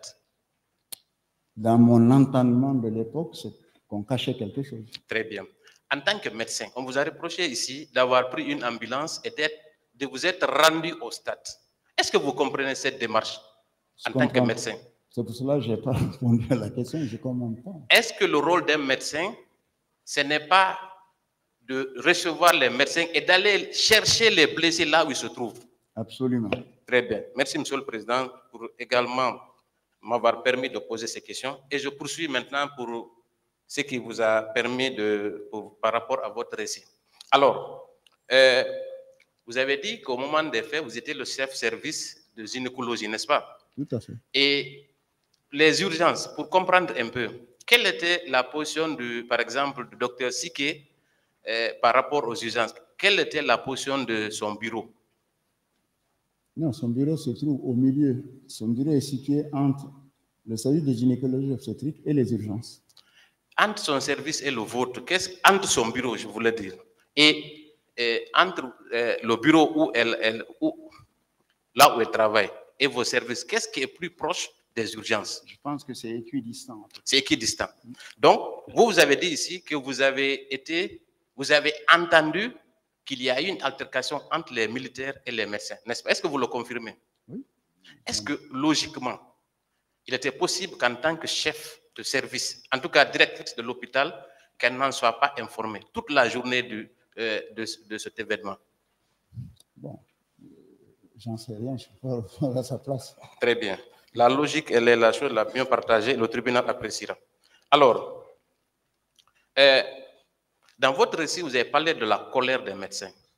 Cette colère-là, elle était consécutive à quoi? À la présence massive des militaires devant l'hôpital. Oui. Parce que les médecins et le personnel de santé ne comprenaient pas que les militaires soient là, alors qu'il y avait autre chose à faire ce jour-là dans la vie. Très bien. Est-ce que les, euh, les médecins se sentaient en sécurité au moment des faits dans, dans ce service? Pas avec ça. Pas avec ça. Non. N'est-ce pas? Alors, et il a également été euh, indiqué à cette barre que plusieurs blessés ont été enlevés à l'hôpital. Donc, est-ce que vous avez appris ça? Euh, non, je n'ai pas appris ça, mais je sais que, en tout cas en ce qui nous concerne, certains blessés, puisqu'il n'y avait pas de place, qui avaient reçu les soins, étaient autorisés à partir à leur domicile avec la possibilité de revenir pour la poursuite des traitements. Très bien. Est-ce que, vous, est-ce que vous croyez que des militaires qui ont osé s'en prendre aux médecins ne pouvaient pas s'en prendre aux blessés qui étaient dans les autres services? Bon, je. je peux Laissez pas le faire de- tribunal apprécier. Voilà. Très Je- bien. je- Je poursuis, euh, professeur. Alors, parlant du colonel Diaby, il a été indiqué ici et à travers plusieurs témoignages euh, qu'il s'est effectivement rendu aux urgences. Est-ce que vous confirmez? Il s'est rendu aux urgences, oui. Très bien. Plusieurs victimes ont déclaré à cette barre qu'il leur a asséné des coups de pied. Est-ce que vous avez appris ça au moment des faits? J'ai entendu parler, mais je n'ai pas vu. Je, vous remercie parler. pour ça, mais vous avez entendu parler par qui? Par le personnel. Par le personnel. Est-ce que vous pensez que ce personnel-là est digne de confiance pour avoir collaboré avec ces médecins? Jusqu'à preuve du contraire. Je vous remercie, monsieur le professeur. Alors, on va continuer. Euh, parlant du viol, je vais aller beaucoup plus vite. Euh, il a toujours été euh, nié par certains qu'il n'y a jamais eu de viol au stade. Quand quelqu'un vous dit, vous qui étiez le chef-service de gynécologie, quelqu'un vous dit qu'il n'y a pas eu de viol au stade, qu'est-ce que cela vous dit? Que, que répondez-vous à ça, professeur Namouré Ça me choque, puisque nous avons constaté, nous avons fait des constats qui indiquait fortement qu'il y avait eu probablement des viols sur des femmes. Je vous remercie, Monsieur le Président, honorable assesseur. Merci, professeur.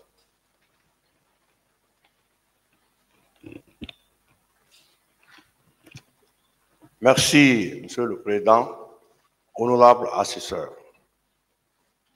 Professeur, bonjour. Bonjour. Oui. Euh, vous avez déclaré ici que quand vous avez appris le massacre, vous vous êtes déplacé avec une équipe pour aller au stade. Vous avez, vous avez fait ce sacrifice. C'est grâce à vos obligations professionnelles ou bien vous l'avez fait parce que c'est à titre de patriotisme. Le fait d'aller au stade avec euh, une ambulance pour aller prendre les malades, prendre les violés, les blessés et les envoyer à l'hôpital. Je veux savoir, vous l'avez fait parce que vous êtes médecin, c'est selon vos obligations professionnelles. Je pense que dans la conscience de tout personnel de santé, lorsqu'on se rend compte que la vie d'autrui est en danger, c'est son rôle d'intervenir pour sauver la vie. Tout à fait. Ça, c'est un courage. Je veux savoir, vous avez déclaré ici que les premières heures du massacre, vous avez pris contact avec l'équipe de garde avant d'aller au stade. Je veux savoir, quand vous étiez au stade, est-ce qu'il y avait une coordination entre l'équipe de garde et vous qui étiez partis au stade?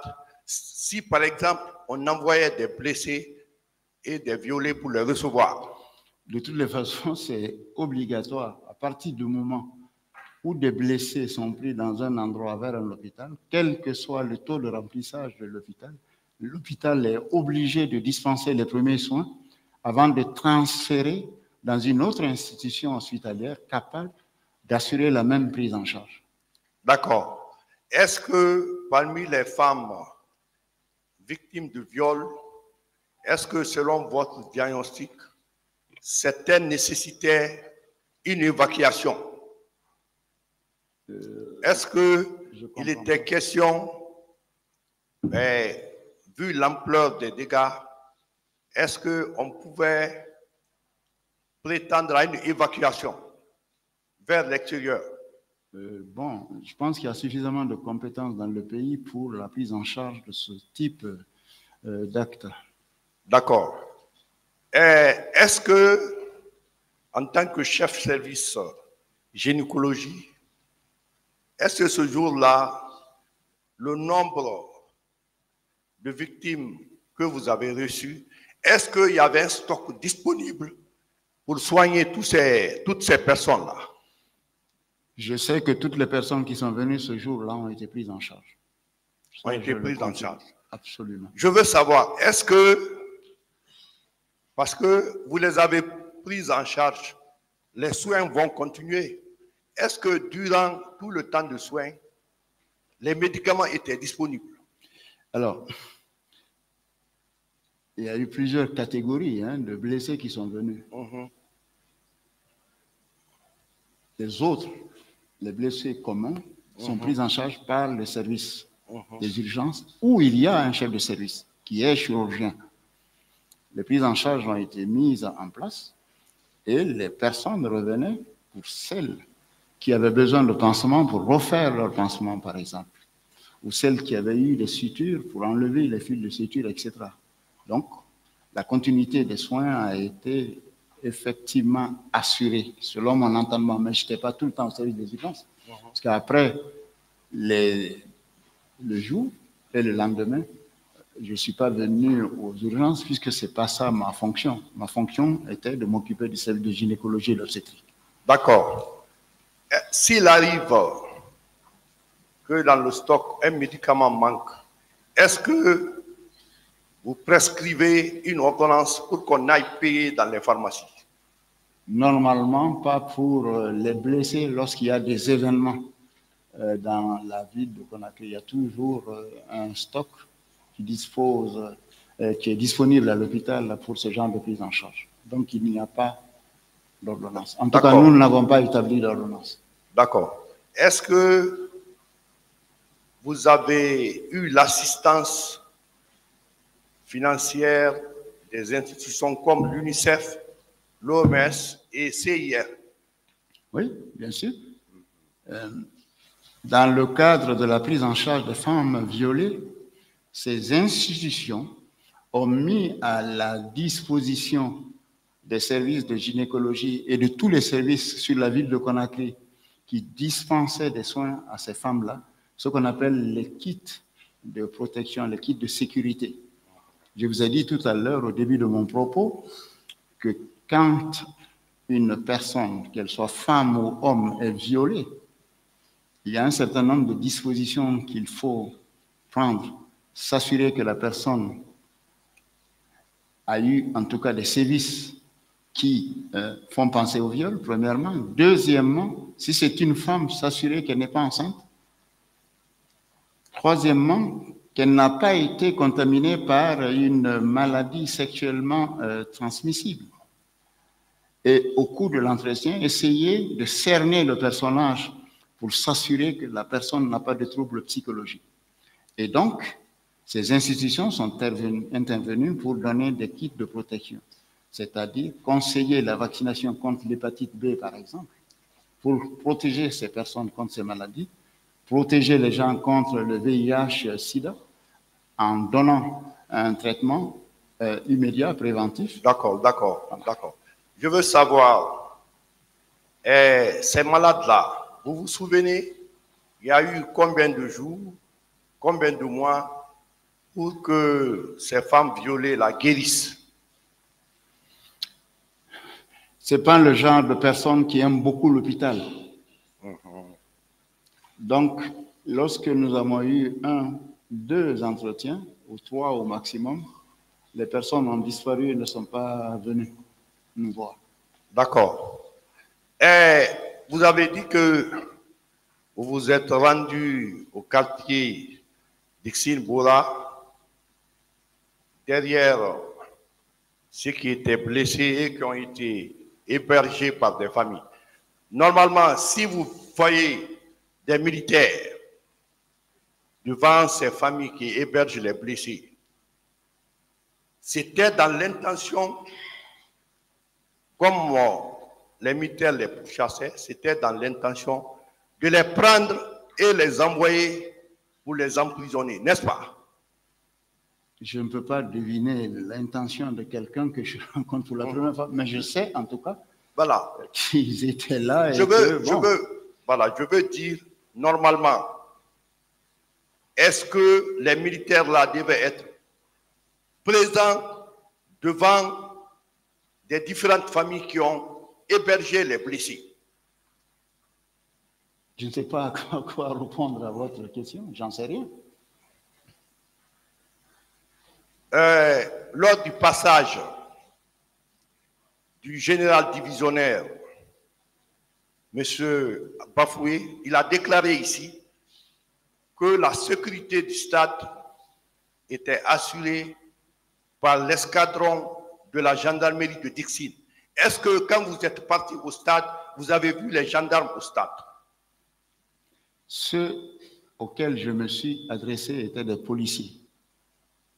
C'était des policiers. Ceux auxquels je me suis adressé. Mais je ne peux pas dire s'il y avait des gendarmes ou non. Mais ceux-là, là, que moi j'ai vus, c'était des policiers.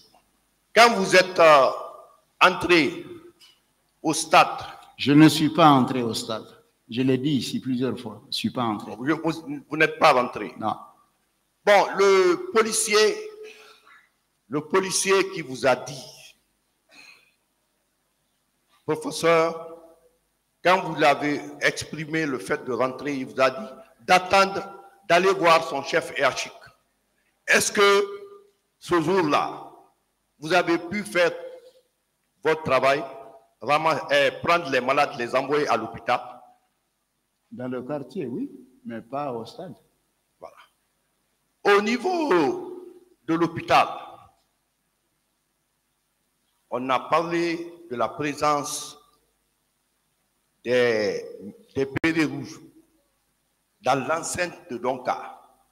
Ces bérets rouges-là, est-ce qu'ils étaient là pour assurer la protection ou bien c'était pour empêcher les médecins de faire leur travail?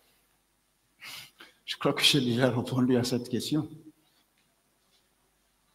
Nous n'étions pas contents, en tout cas la majorité du personnel, d'avoir des militaires, surtout qui avaient tendance à être agressifs. Et la preuve, un groupe a lancé des grenades dans la cour de l'hôpital, des fumigènes en tout cas. D'accord. Parce que Madame euh, Fatou Sike Kamara a déclaré ici qu'elle avait appris que les militaires étaient venus, mais les médecins traitants les ont dit de sortir pour leur permettre de faire leur travail. Oui, c'est vrai. Ah, ça, a été, ça a été dit. Eh, mon professeur, est-ce que vous savez, selon la loi portant statut général des militaires, l'armée guinéenne est une armée républicaine au service de la nation? Vous le savez? Ben, je pense que c'est les mêmes dispositions pour toutes les armées du monde, non? Voilà. Est-ce que le citoyen, c'est une obligation de résultat pour l'armée guinéenne de protéger la population? Vous le savez ou pas? Je pense que c'est inscrit dans ce qu'ils doivent faire. Donc, euh, moi, je vous remercie d'avoir le courage d'aller au stade pour aller chercher, pour aller prendre les malades, les amener à l'hôpital, parce que quelqu'un qui est victime d'une atrocité ne peut pas se déplacer facilement. Je vous remercie. Merci, Monsieur le Président.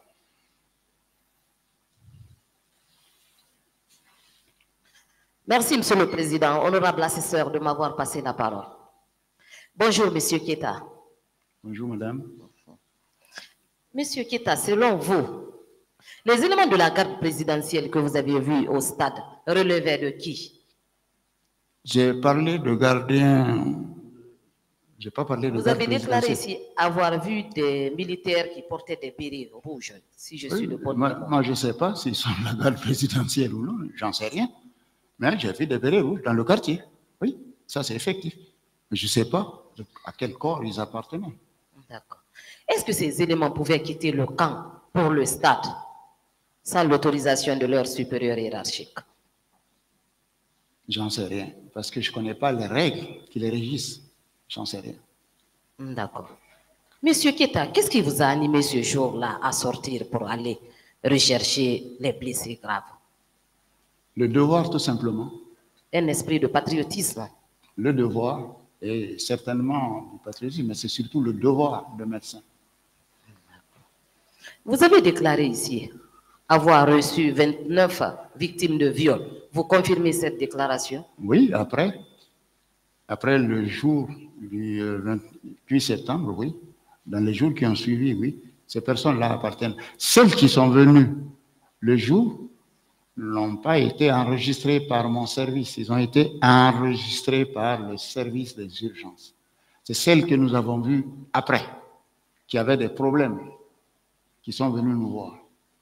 Et vous- on n'était pas la seule structure hein, qui nous occupions de ça. hein. Il y avait plusieurs autres structures dans la ville de Conakry qui s'occupaient de viol. Est-ce que vous savez que certaines femmes avaient été victimes de viol avaient été chassées de l'hôpital? Euh, bon, je ne suis pas au courant. D'accord.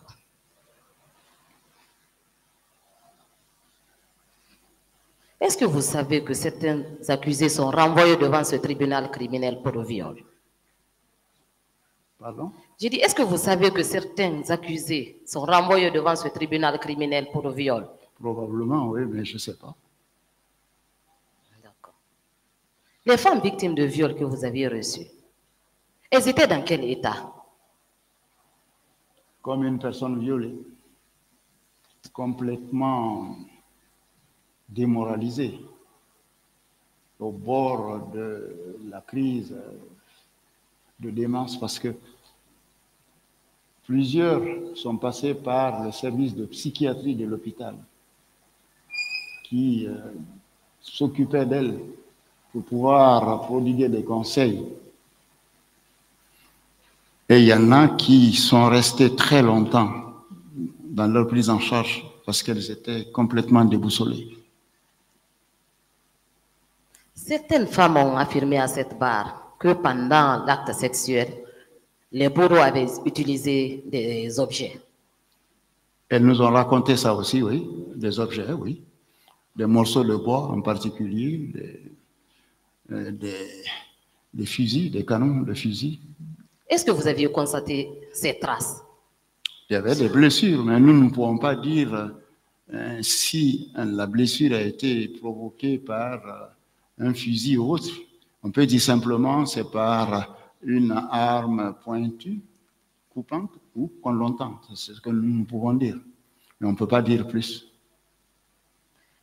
Madame Fatoussi qui a, appris, a, a déclaré à cette barre que les services des urgences de l'hôpital donc ressemblaient à l'abattoir. Qu'est-ce que vous pouvez nous dire par rapport à cette déclaration? En tout cas, un champ de bataille parce qu'il y avait des blessés partout. Des blessés graves? Il y a eu des blessés graves là-dedans. Ouais. Je vous remercie, monsieur.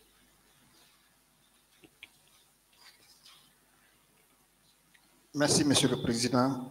Merci, Messieurs les assesseurs. Professeur, bonjour. Bonjour, maître. Je ne vais pas vous entretenir longtemps. Je vous entretiens autour de la grenade, des grenades qui ont été jetées dans l'enceinte de l'hôpital d'Onka. Vous maintenez cela? Oui. C'était à quel dessin ces grenades ont été jetées? Qui peut comprendre le dessin de la personne qui jette? Une grenade sur des personnes civiles qui, de plus, appartiennent à un corps particulier, les professionnels de santé Je ne sais pas quel était leur dessin. Certainement pour faire du mal, forcément. Il y avait des attroupements des médecins qui ripostaient contre l'arrivée des militaires. Non, les médecins ont protesté et ont montré leur colère pour la présence militaire. Mais il n'y a pas eu d'affrontement physique. Mais ils n'étaient pas contents, vu ce qui était en train de se passer, que des militaires soient là. Et les blessés? Pardon? Les blessés, Les blessés étaient dans la salle, dans un autre endroit. Si vous connaissez l'hôpital d'Onka, vous avez un grand portail, vous avez à l'époque un portillon d'un côté, et puis le service des urgences, c'est le bâtiment qui, en entrant à l'hôpital, est sur votre gauche. bien. Est-ce qu'il y a eu des victimes? Qu'est-ce que vous appelez victime C'est-à-dire à la suite de ces grenades qui ont été jetées par les militaires. Non, pas Est-ce qu'il y a je eu d'autres victimes? pas que je me souvienne, parce que c'était, j'ai eu l'impression que c'était un fumigène plutôt. Ça a dégagé de la fumée, mais bon, on a entendu une explosion, ça a dégagé de la fumée, mais il n'y a pas eu de blessés. Autant que je me souvienne, non. Aucun militaire n'avait été agressé dans l'enceinte de de l'hôpital. De toutes les façons, ce jour-là, aucun homme normal n'aurait osé affronter un militaire. Je vous remercie, Monsieur le Président. Euh, je vous remercie, Monsieur le Président, Messieurs les assesseurs. Euh, professeur, je voudrais d'abord vous demander si vous avez des informations concernant les fosses communes, parce que le professeur Hassan Ba nous a dit ici il y a 25 corps non identifiés au Cameroun. Est-ce que vous aussi, parce que vous êtes une grande personnalité, vous êtes de l'hôpital, vous avez- en quelque sorte, je peux dire, vous avez géré cette situation? Est-ce que vous pouvez dire au tribunal qu'il y a une fosse à tel lieu dans notre pays? Merci. pour ça. Je n'ai aucune information concernant les corps. Ça ne fait pas partie de mes compétences à l'hôpital. Bien. Professeur, euh, en tant que témoin Bien entendu, votre témoignage c'est pour le tribunal. Ces crimes-là, sont-ils des crimes de masse? En, votre, en tant qu'intellectuel? Je, je crois que ça va de soi. Il y a eu plusieurs blessés. Merci. Est-ce que vous savez qu'en matière de crimes de masse, on recherche les chefs hiérarchiques d'abord Est-ce que vous savez cela? Je suppose, oui. Bien. Non, je vous remercie toujours. Et enfin, pour moi, étant des crimes contre l'humanité, professeur, pensez-vous que ce sont les 11 personnes-là seulement qui peuvent commettre ces crimes-là en ce moment Bon, c'est une question difficile, mais ce n'est pas à moi qu'il faut la poser, parce que ce n'est pas moi qui vais dire si c'est un crime contre l'humanité ou autre. Je pense que c'est à la Cour de- d'en décider. Ce n'est pas mon rôle. On a dépassé, moi j'ai dépassé là-bas. Je voudrais vous demander de façon simple. Alors, est-ce qu'il y a d'autres personnes de la hiérarchie militaire ou civile ou de simples agents de l'État qui devraient être là, qui ne sont pas là? C'est ça la question. Et c'est la dernière. J'en sais rien. Merci. Merci, Monsieur le Président. Juste une question ou deux. Euh, professeur, est-ce que vous avez enregistré des décès hospitaliers au sein de votre service suite à ces événements-là? Non. Et est-ce qu'on peut quand même dire également que l'empêchement d'accès aux soins peut être établi, notamment par le refus d'accès au stade et le fait qu'ils viennent menacer au niveau de l'hôpital? Est-ce que c'est établi, on peut estimer qu'il y a une volonté d'empêcher que les personnes soient soignées? Je ne sais pas euh, ce que vous voulez dire, mais je pense que les blessés, en tout cas, qui sont arrivés à l'hôpital, ont été pris en charge. Ok, je vous remercie, professeur. Merci. Merci, Monsieur le Président. Honorable assesseur. Bonjour, Monsieur le professeur. Professeur Kita, vous confirmez être euh, à la gynécologie depuis 1979. Oui, c'est l'année où j'ai passé ma thèse, oui. Bien. Tout de suite, la défense vous a posé certaines questions pour faire croire qu'un médecin ne peut pas se déplacer, aller vers un malade. C'est vrai ça? Ça dépend du contexte et de la situation. Ça dépend du contexte. Est-ce que le contexte actuel, depuis 1979, vous l'avez une fois vécu? C'est-à-dire? Euh, les viols qui se sont passés au stade du 28 septembre, le jour du 28 septembre, est-ce qu'une seule fois, vous avez enregistré des cas comme ça? Bon, il y a eu des viols. hein. Il y avait un violeur qui sévissait euh, à Dixine, hein, qui violait les jeunes filles qui vendaient les arachides et les choses. Il a violé euh, neuf jeunes filles, mais ça n'a rien à voir avec. euh, Donc, nous avons, c'est notre pain quotidien, nous avons régulièrement des personnes qui viennent avec des réquisitions pour établir euh, la possibilité d'un viol ou non.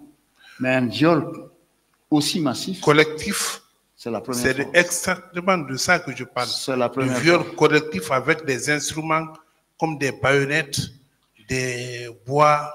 Est-ce qu'il vous est arrivé une seule fois d'en enregistrer? C'est la première fois. Est-ce que si vous prêtez, vous assistez les victimes de ces vols, de ces viols, est-ce que si vous les assistez, ce serait un délit? Bon, c'est un devoir, je trouve. hein. Un devoir Ben oui. de médecin. Bien. Quand vous avez été, auprès des forces de l'ordre et de sécurité qui étaient là. Quelqu'un vous, ils vous ont tenu des propos comme quoi nous ne nous laisserons pas faire. Ah oui, les bérets rouges dans le quartier, oui. Oui, ils disent qu'ils ne se laisseront pas faire parce que les Ils n'ont pas responsables. dit, ça, ça ne nous était pas adressé, ils ont dit, qu'est-ce que vous faites? En tout cas, tous ceux qui sont trempés dans cette histoire, nous allons nous en occuper. C'est ce qu'ils nous ont dit.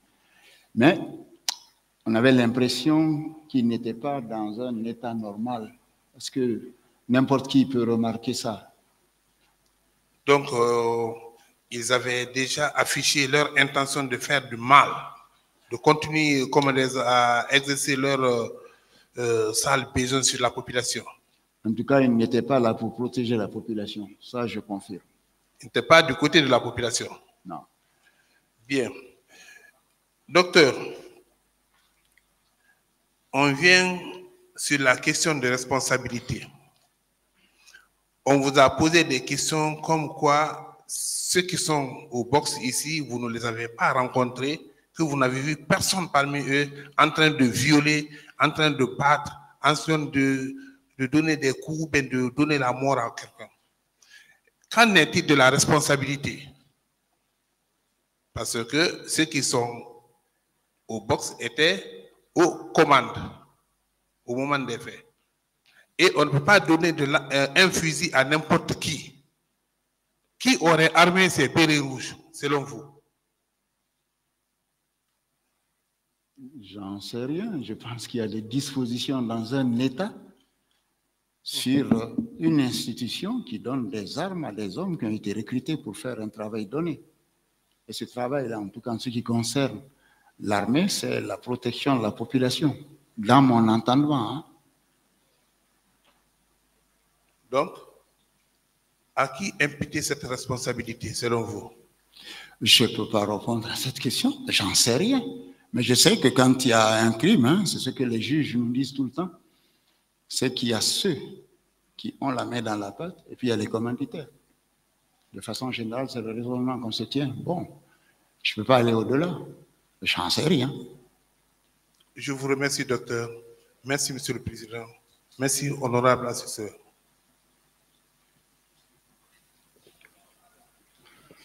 Professeur, bonjour. Bonjour. Je vais vous poser cette question de précision. Vous avez parlé des rapports dont la copie aurait été remise à la commission d'enquête. Est-ce que vous disposez d'une copie de ce rapport actuellement? Je pense que ça a été déjà déposé. D'accord. En répondant à l'une des questions de Monsieur le procureur, vous avez dit que les femmes qui ont été violées, ils ont affirmé qu'elles ont été violées par des militaires. Est-ce qu'elles vous ont donné un nom ou bien des noms? Je pense que c'est un rassemblement où personne ne se connaissait. hein. À part les membres peut-être d'un groupement donné, ils ne connaissaient pas leurs agresseurs. Ils savaient que c'était des gens habillés en militaire. Et c'était même très précis. hein. C'était des personnes habillées en militaire qui nous ont violés. C'est ce qu'elle disait. D'accord. Parmi les femmes que vous avez eu à traiter ou à examiner, est-ce qu'il y avait des mineurs? Euh, oui, parce que je pense qu'il y a une de 16 ans et il y en a une de 17 ans. Ce sont les mineurs. D'accord. Et il y a des très jeunes personnes là-dedans. 20 ans, 25 ans, 24 ans. De par votre position, est-ce que vous avez appris que d'autres structures sanitaires avaient aussi accueilli des femmes comme vous à l'hôpital d'Onka? Oui. Le CMC de la minière a reçu quelques-unes de violées. La minière, c'est à côté de la cité, là. Le petit centre qui est là-bas avait reçu quelques cas. Et puis, il y avait des institutions privées à l'époque qui ont reçu des personnes violées. Et puis, il y a des femmes violées qui sont venues directement au service de psychiatrie de l'hôpital. Malgré tout, est-ce que vous avez eu le sentiment qu'il y a eu des femmes ou des blessés qui n'ont pas eu la chance d'aller à l'hôpital? Ça arrive toujours. Vous savez, la mentalité de la personne violée est particulière. hein. Et Ils ne viennent pas tout de suite. Il y en a beaucoup qui ne viennent pas tout de suite, qui attendent des années euh, pour venir. Et il y en a qui ne viendront jamais. Parce qu'elles ont honte. Surtout que les militaires étaient en train d'obstruer, d'empêcher les gens d'aller à l'hôpital. Oui, même, même- même si ce n'est pas le cas, parfois les personnes même décident, puisqu'elles ne trouveront jamais compensation, de ne pas venir. Quand je dis compensation, c'est compensation morale et autres. Ne viennent pas. Je vous remercie, Monsieur le de Président. l'attitude de la personne violée. Merci, professeur.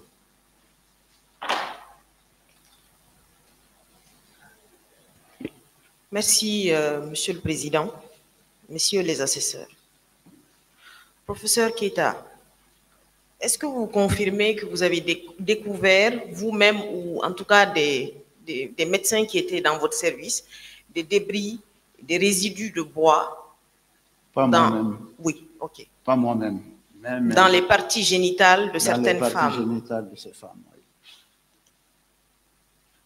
Est-ce que vous confirmez également, professeur Keita, que certaines femmes ont déclaré à ces médecins-là qui étaient sous votre, euh, dans votre service qu'on avait introduit dans leurs organes sexuels des baïonnettes, Des canons de fusil. des canons de fusil aussi Et est-ce que ces médecins vous ont rapporté qu'ils ont constaté des blessures sur ces femmes-là? Ah oui, oui, bien sûr. Parce qu'on ne peut euh, émettre euh, qu'il s'agit d'une suspicion de viol s'il n'y a pas euh, de traces. Professeur, est-ce que vous avez eu connaissance du nombre de femmes qui ont eu des problèmes psychologiques ou psychiatriques? Tout, ah ben, psychiatrique, euh, peut-être qu'il y en a une ou deux, mais psychologique, elles en ont toutes. Est-ce que certaines avaient contracté le, le VIH Ouais. Autant que je me souvienne, une. Vos services ont, ont délivré, ont-ils délivré des, des certificats médicaux à, à ces femmes-là? Ces femmes ont eu les certificats, oui. Mais surtout, ces femmes ont été euh, déclarées, ont été mises sur une liste euh, sous anonymat, Euh, puisque c'est ce qu'on nous demande dans ce genre de situation. Les personnes ne sont pas obligées euh, de répondre à, à d'autres questions. Donc, elles ont des numéros et non pas de noms. Je ne peux pas vous donner des noms, parce que Oui. non que des numéros. Oui, vous ne pouvez pas de toute façon parce qu'en fait, les femmes victimes de violences sexuelles, au cours de ce procès, ont été entendues dans le cadre du huis clos. C'était pour préserver leur sécurité, préserver leur dignité aussi. Professeur, euh, je vais rebondir sur euh, quelque chose que la directrice de l'hôpital a dit ici. Elle dit qu'elle n'a pas eu connaissance qu'il y ait eu, euh, en tout cas, une agression de l'hôpital au point que ça soit quelque chose de grave. Est-ce que vous confirmez, enfin, est-ce que vous pouvez nous donner l'heure à laquelle ces bombes lacrymogènes se sont retrouvées à l'intérieur de l'hôpital C'était dans l'après-midi. C'était en tout cas au-delà de 17 heures. Mais je ne peux pas. Il y a plusieurs années hein, que ça s'est passé. Je ne peux pas vous donner d'heure précise, mais c'était euh, dans l'après-midi, proche de la soirée. Il était plus de 17 heures, ça j'en suis sûr. D'accord. Et dans ce cas de figure, enfin, qui n'est pas un cas de figure normal, est-ce qu'il est possible que lorsque une agression comme ça est perpétrée contre un hôpital qui reçoit euh, cette vague de personnes blessées, de, victimes de violences sexuelles, est-ce qu'il est possible que dans le cadre de l'organisation des services de l'hôpital, que vous ayez eu un point, un staff pour parler de ça, ou au moins pour échanger des informations sur la conduite à tenir? Bon, vous savez, l'hôpital, c'est un peu compliqué. hein. Les staffs sont interservices. C'est-à-dire que chaque matin, toutes les équipes se réunissent pour Mhm. discuter de leurs problèmes. Les évacuations qu'il y a eu entre les autres services, et puis les chefs de service s'informent sur le devenir des personnes qui ont été vues et qui ont été euh, référées dans une autre unité de l'hôpital.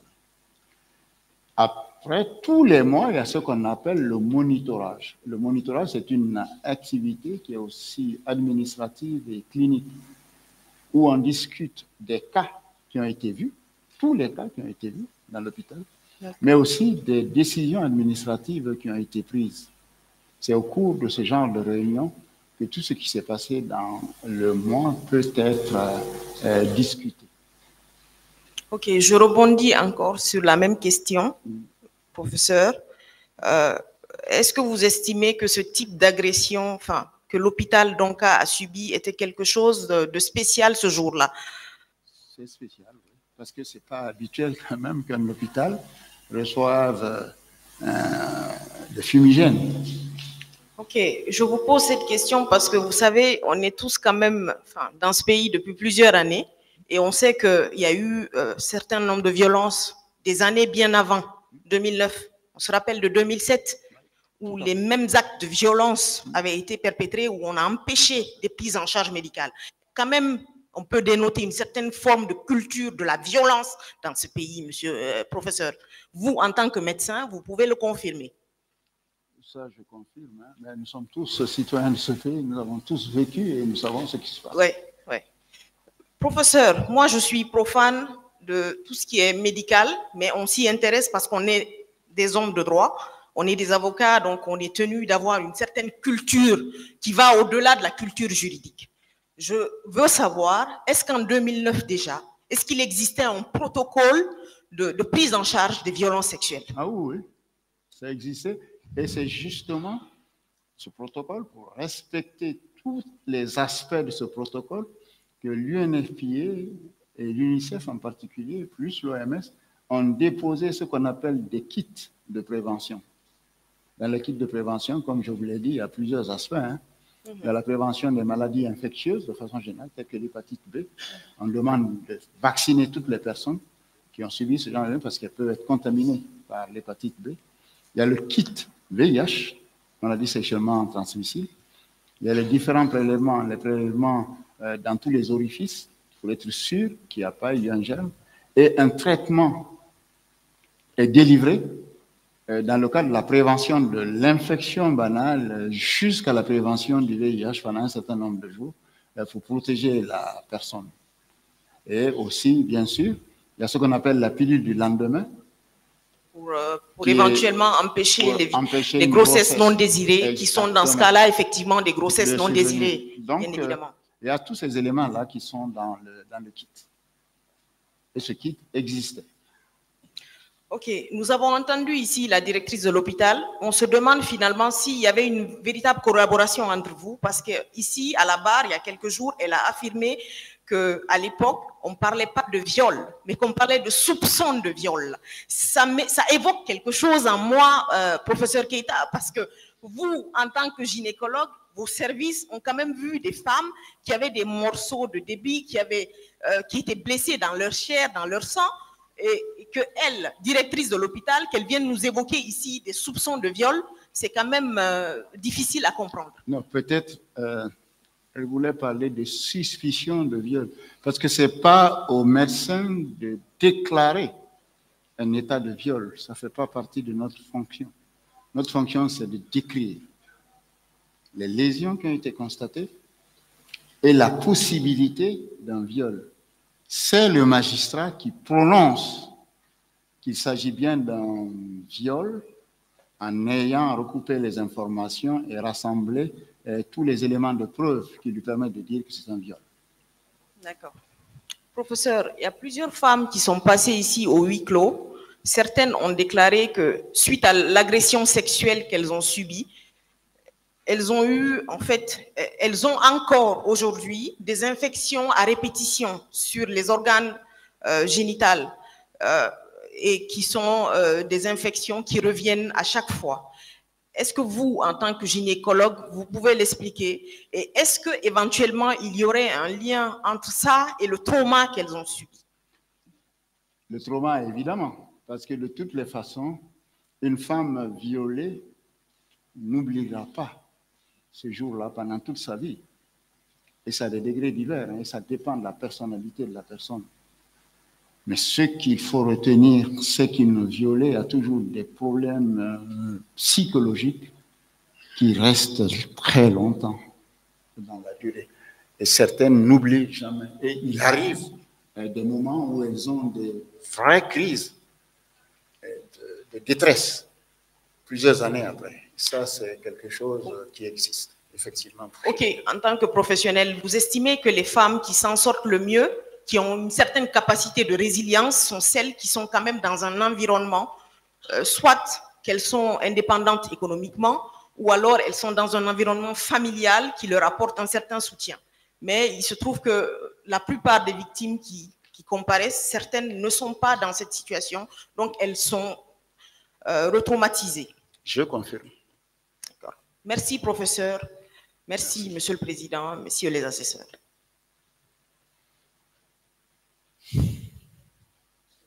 Allez-y.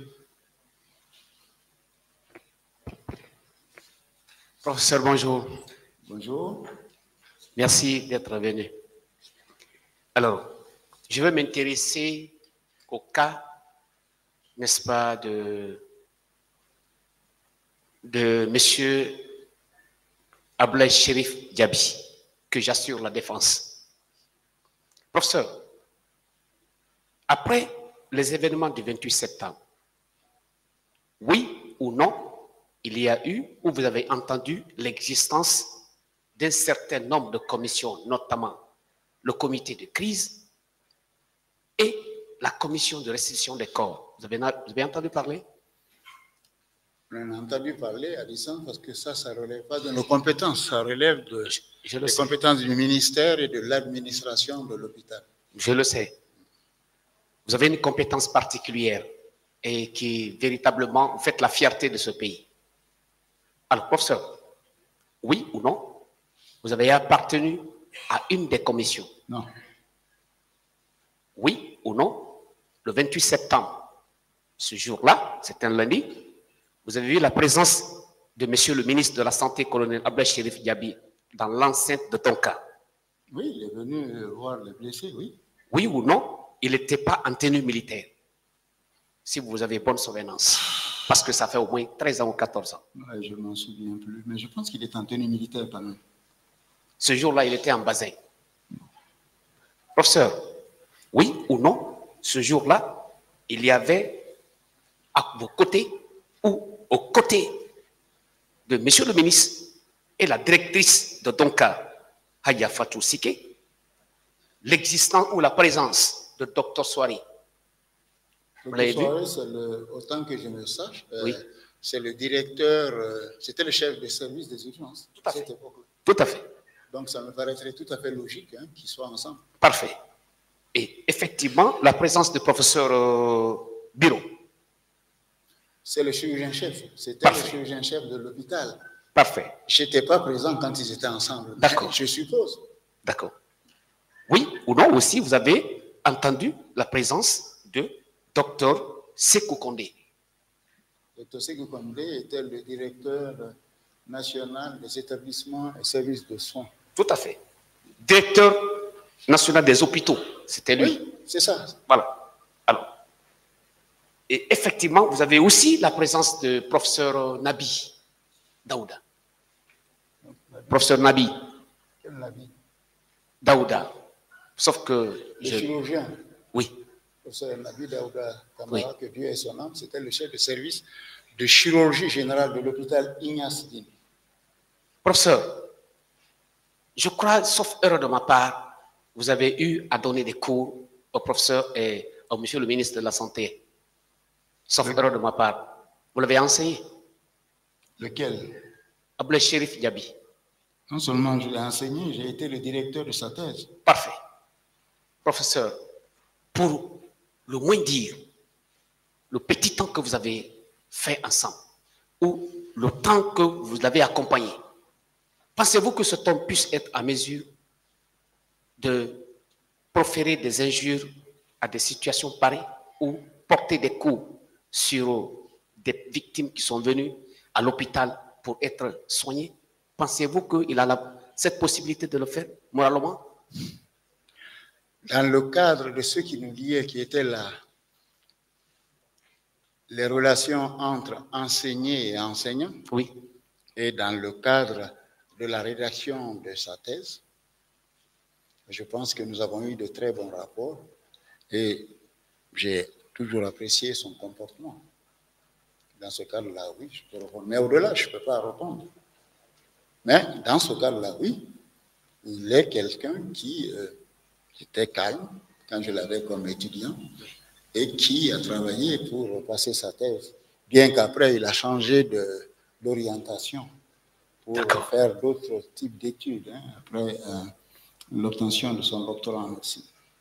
Vous savez, quand je, avec votre, la permission de Monsieur le Président, euh, quand je vous rappellerai de La Fontaine Fab, La Fontaine, l'écrivain là, Là? La Fontaine Fab. Ah, les fables de La Fontaine. vous Oui, naturellement. Qui a défini l'enfant? Que l'enfant n'est pas une plante qui pousse dans un pré. C'est une conscience qui se forme et qui se développe. Que l'éducation d'un enfant commence à la maison et finit à la porte. Et à l'école, le maître complète celle-ci. Vous, vous l'avez eu en tant qu'étudiant. Vous connaissez au moins sa moralité. Je dis dans les mesures de nos relations d'enseigner enseignant, je trouve que c'est un élément sur lequel on pouvait compter. En tout cas. Parfait. Mais c'est tout ce que je peux dire. C'est vrai. Professeur, vous savez, l'une des obligations d'un témoin, c'est ce que vous êtes en train d'accomplir. Parmi les trois obligations. L'obligation de comparaître, vous l'avez fait. L'obligation de dépôt, vous l'avez fait. L'obligation de sincérité, vous êtes dans ça. Professeur, est-ce que, est-il possible pour un ministre de la Santé, fut-il à l'époque, que l'intéressé soit capable, ou soit dans les possibilités, en présence du public, dans un événement de taille, comme 28 septembre, et que cet intéressé puisse être à mesure de porter des coups à des malades, à des blessés ou à des morts des corps. Est-ce que c'est possible? C'est une question difficile que vous posez, je n'en sais rien. Ça, je n'en sais rien. Alors, est-ce que vous avez vécu ça? Pardon? Est-ce que vous avez vu? ça à Donka? Non. Est-ce que vous avez entendu J'ai entendu, mais je n'ai pas vu. Vous savez, le fait d'entendre, en tant que témoin, il y a deux situations qu'il faut régler. Entendre par la personne qui n'est pas, de- qui n'est pas vous-même, dans la bouche de quelqu'un d'autre que vous avez vu physiquement et que vous pouvez identifier. Ça, c'est entendre. Mais lorsque vous entendez du bruit que je puisse qualifier ainsi, vous n'avez pas l'identité de la personne qui parle. Vous n'avez pas la connaissance réelle de la personne qui est en train d'évoquer la situation. Est-ce que ça, c'est une information fiable?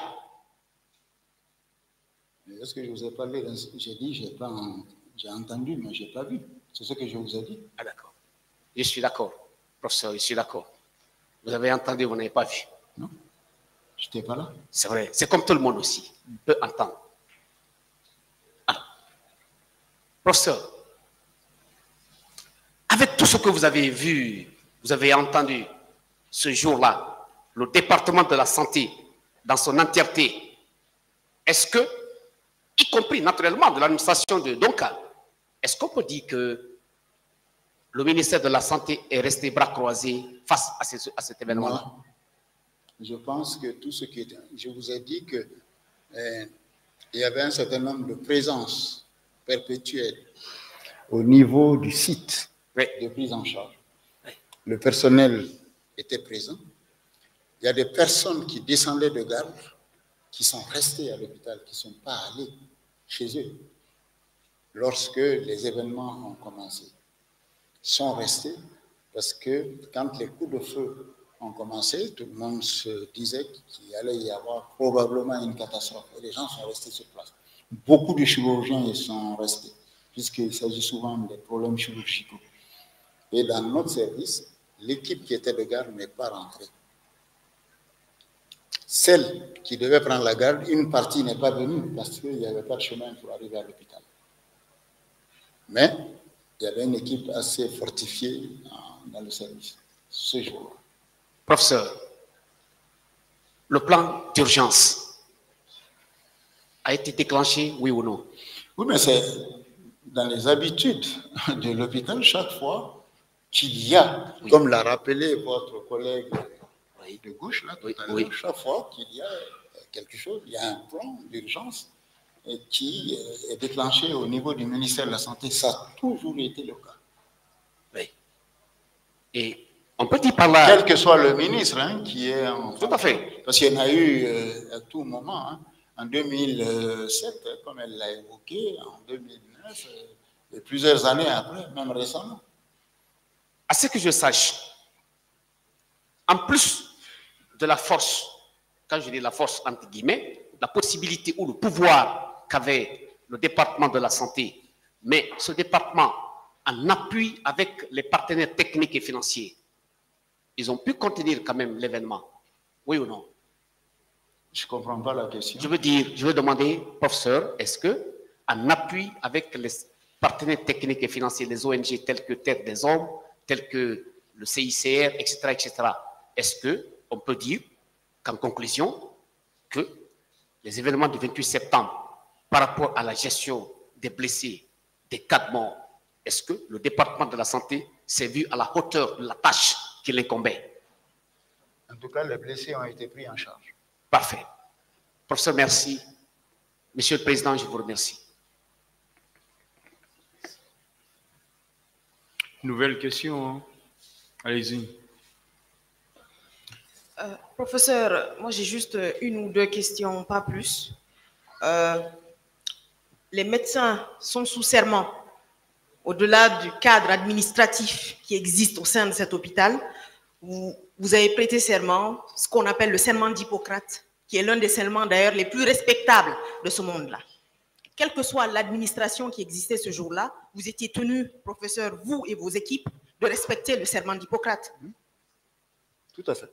Merci, Monsieur le Président.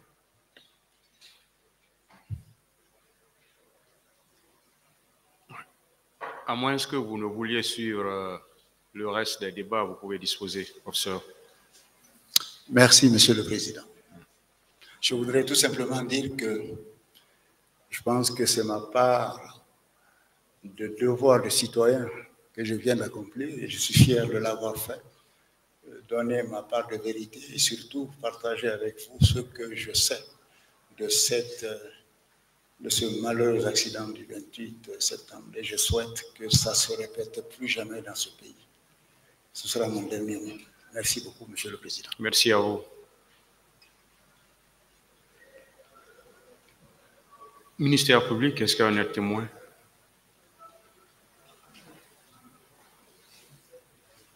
Monsieur le Président, c'est le seul témoin que nous avions préparé pour la journée d'aujourd'hui. Et je profite pour vous dire que sur la liste provisoire qu'on avait produite, il ne nous reste plus que deux témoins qui comparaîtront demain et après-demain, si Dieu le veut. Après, on aura fini notre tour. Je vous remercie. Le tribunal renvoie alors cette affaire au 30 janvier 2024 pour la suite des débats. L'audience est levée.